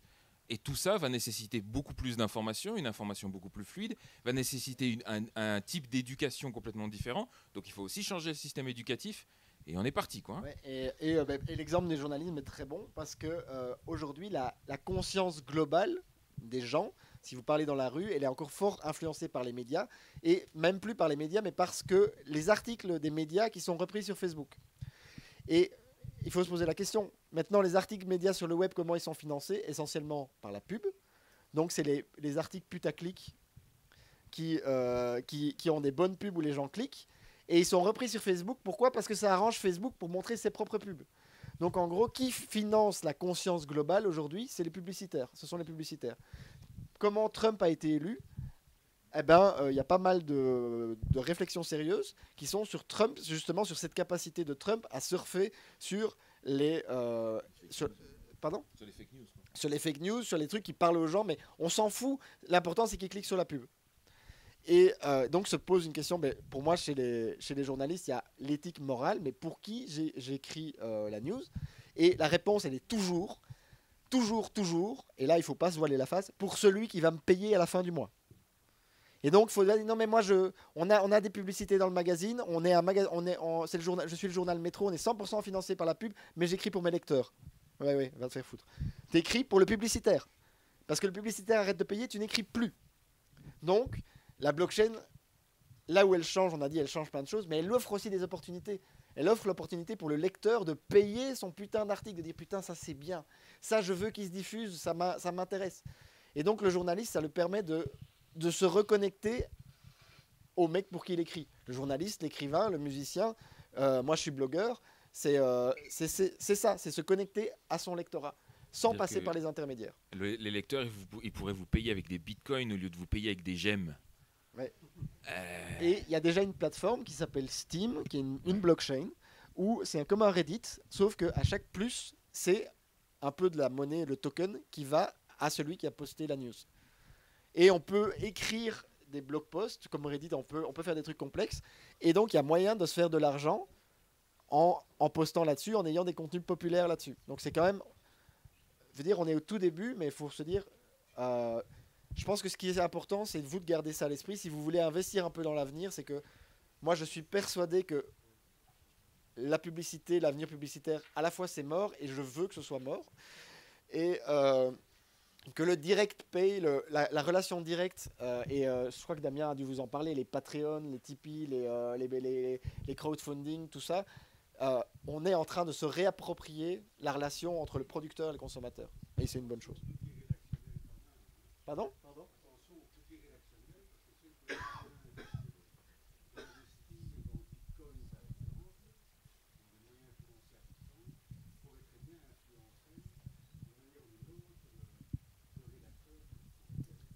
Ah, Alors c'est vrai qu'on est toujours soumis à des influences. Donc moi je dis toujours, c'est que moi je suis, mon blog euh, il est financé par les, dons des lecteurs, que euh, si un mec décide de m'envoyer euh, 10 000 balles chaque fois que j'écris un article sur euh, les Tesla, bah, je vais écrire plus d'articles sur les Tesla. hein. Mais au moins il y a une forme de transparence. Surtout, euh, et j'essaye de cultiver ça avec mes lecteurs, c'est une relation de confiance et de transparence. Euh, et par exemple avec les trucs comme Tipeee ou Patreon, où on voit combien on touche, on voit qui sont ceux qui donnent, euh, et, et que honnêtement, il n'y a personne qui m'a jamais offert 10 000 balles, mais...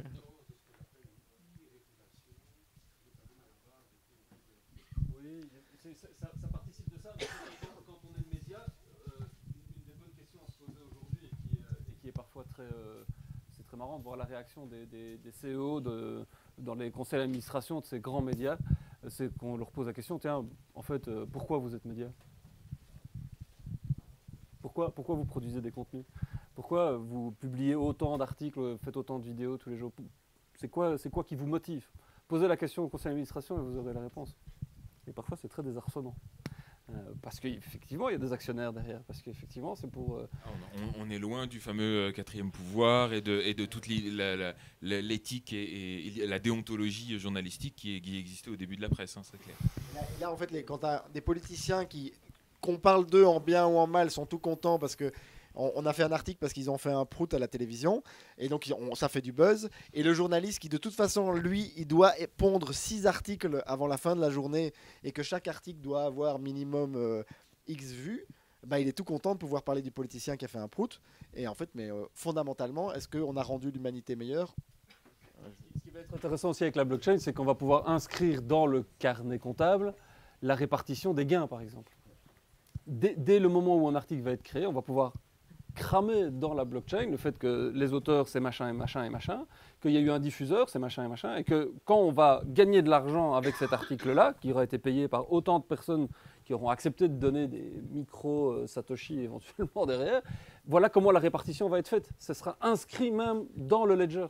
Et donc il y a- moyen d'amener une réflexion autour de ça. On n'a pas évidemment de solution définitive, mais c'est euh, intéressant de voir que pour des créateurs de contenu à valeur ajoutée, pour bien faire, c'est un peu comme ça, je pense qu'il y a moyen de penser son métier, il y a moyen de réfléchir à des nouveautés là-dessus. Et donc il y a plein d'autres métiers qui pourraient aussi être impactés de manière positive.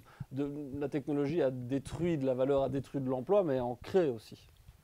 Et euh, voilà, je pense qu'on n'est pas là pour résoudre Et, et si, alors, ce pour, soit comme problème, encore une fois, hein, pour, insister là-dessus et faire un peu, euh, enfin, j'espère euh, vous motiver aussi dans, dans- dans votre truc, c'est que euh, on dit toujours, oui, la technologie, l'automatisation, ça va détruire de l'emploi, etc. Euh, pour moi, parmi les secteurs où ça va certainement pas détruire de l'emploi et au contraire, ça va le démultiplier, c'est l'information. c'est que justement, dans une, dans une société beaucoup plus automatisée, dans une société avec toujours plus de, ces trucs-là, de blockchain, de code, etc., votre rôle en tant que journaliste, ce sera de, de, de, de- compenser ça, de surcompenser même. Donc, euh, oui, votre rôle sera super important. En fait, ce qu'il y a, c'est que moi, j'aime toujours dire qu'il y a eu des, grands points d'inflexion dans l'histoire de l'humanité. Il y a eu l'invention de l'écriture, il y a eu l'invention de l'imprimerie, qui a fait les billets de banque dont on a parlé, mais qui a créé aussi la presse. Donc, on- quand on parle de la presse, ça, ça vous dit à quel point on est rétrograde parce qu'on parle de l'imprimerie. Et quel est le rôle de l'imprimerie? C'est diffuser l'information dans un monde où l'information est très rare. Et donc, l'information, l'information avant l'imprimerie était extrêmement rare, avait énormément de valeur. Un livre valait le prix d'une maison. Puis c'était les moines qui les faisaient. donc- euh, après avec la presse, on diffuse l'information, donc on, est, on, on crée de la valeur. Et moi, je dis toujours que euh, le, le point d'inflexion suivant, on dit que c'est Internet. C'est pas Internet. Pour moi, c'est la blockchain. La blockchain se base sur Internet. La blockchain est la couche au-dessus d'Internet qui va vraiment changer les choses. Et, euh, et donc, je veux dire, mais on n'est plus dans un monde où l'information est rare. Les journalistes sont formés à de l'information, à diffuser de l'information rare, parce que l'information a de la valeur.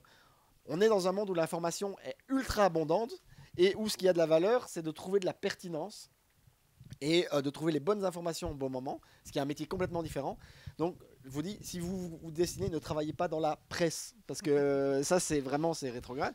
Mais et on est en point d'inflexion vraiment nouveau. Je pense la blockchain Internet, ce qui est en train de, ben, il faut se rendre compte, on est on est en train d'évoluer. Et donc, il va y avoir des, il y a des conflits forcément. Et euh, moi, je dis toujours, la Révolution française, c'est basé essentiellement sur et, et le conflit qui est majeur, qui est issu de la de l'imprimerie. Il va y avoir des conflits, j'espère qu'ils seront le moins violents possible, mais il y a déjà des conflits qui sont liés à, à ces deux mondes qui s'entrechoquent. Je vous propose, il est 21h10. Il y a des- il y a- je dois absolument aller chercher des pizzas parce que sinon on va, être- on va, on va- on va mourir de faim et surtout on va, on va se retrouver avec une porte close. Je voudrais bien sûr vous proposer de continuer la conversation pour ceux qui le souhaitent. Je vous remercie tous d'avoir été là. C'est euh, c'est, super gai de voir que ça a intéressé autant de gens. J'espère que vous avez appris des trucs. Euh, J'espère que vous aussi vous en avez appris. Merci en tout cas les gars d'avoir été là. Je pense qu'on peut Merci. vous applaudir. Euh, Merci, à ceux qui nous ont suivis en ligne, merci à ceux qui ont fait la réelle, euh, les gars qui sont là, merci à vous trois, c'était chouette. Merci à tous ceux qui ont fait aussi euh, le cadre. Euh, la conversation continue, euh, il y aura, euh, gardez un œil sur les, sur les events ici au Off Bar et sur le Creative Park, il y aura d'autres moments comme ceux-ci, d'autres meet-ups qui vont s'organiser. Si vous avez des idées, si vous avez des sujets qui vous intéressent, sur lesquels vous auriez envie de partager ce que, bah, ce que vous faites dans, dans votre job, euh, n'hésitez pas à nous en parler aussi, c'est l'occasion de pouvoir se, se retrouver ici en semaine. Voilà, un grand merci à vous tous, à bientôt, ciao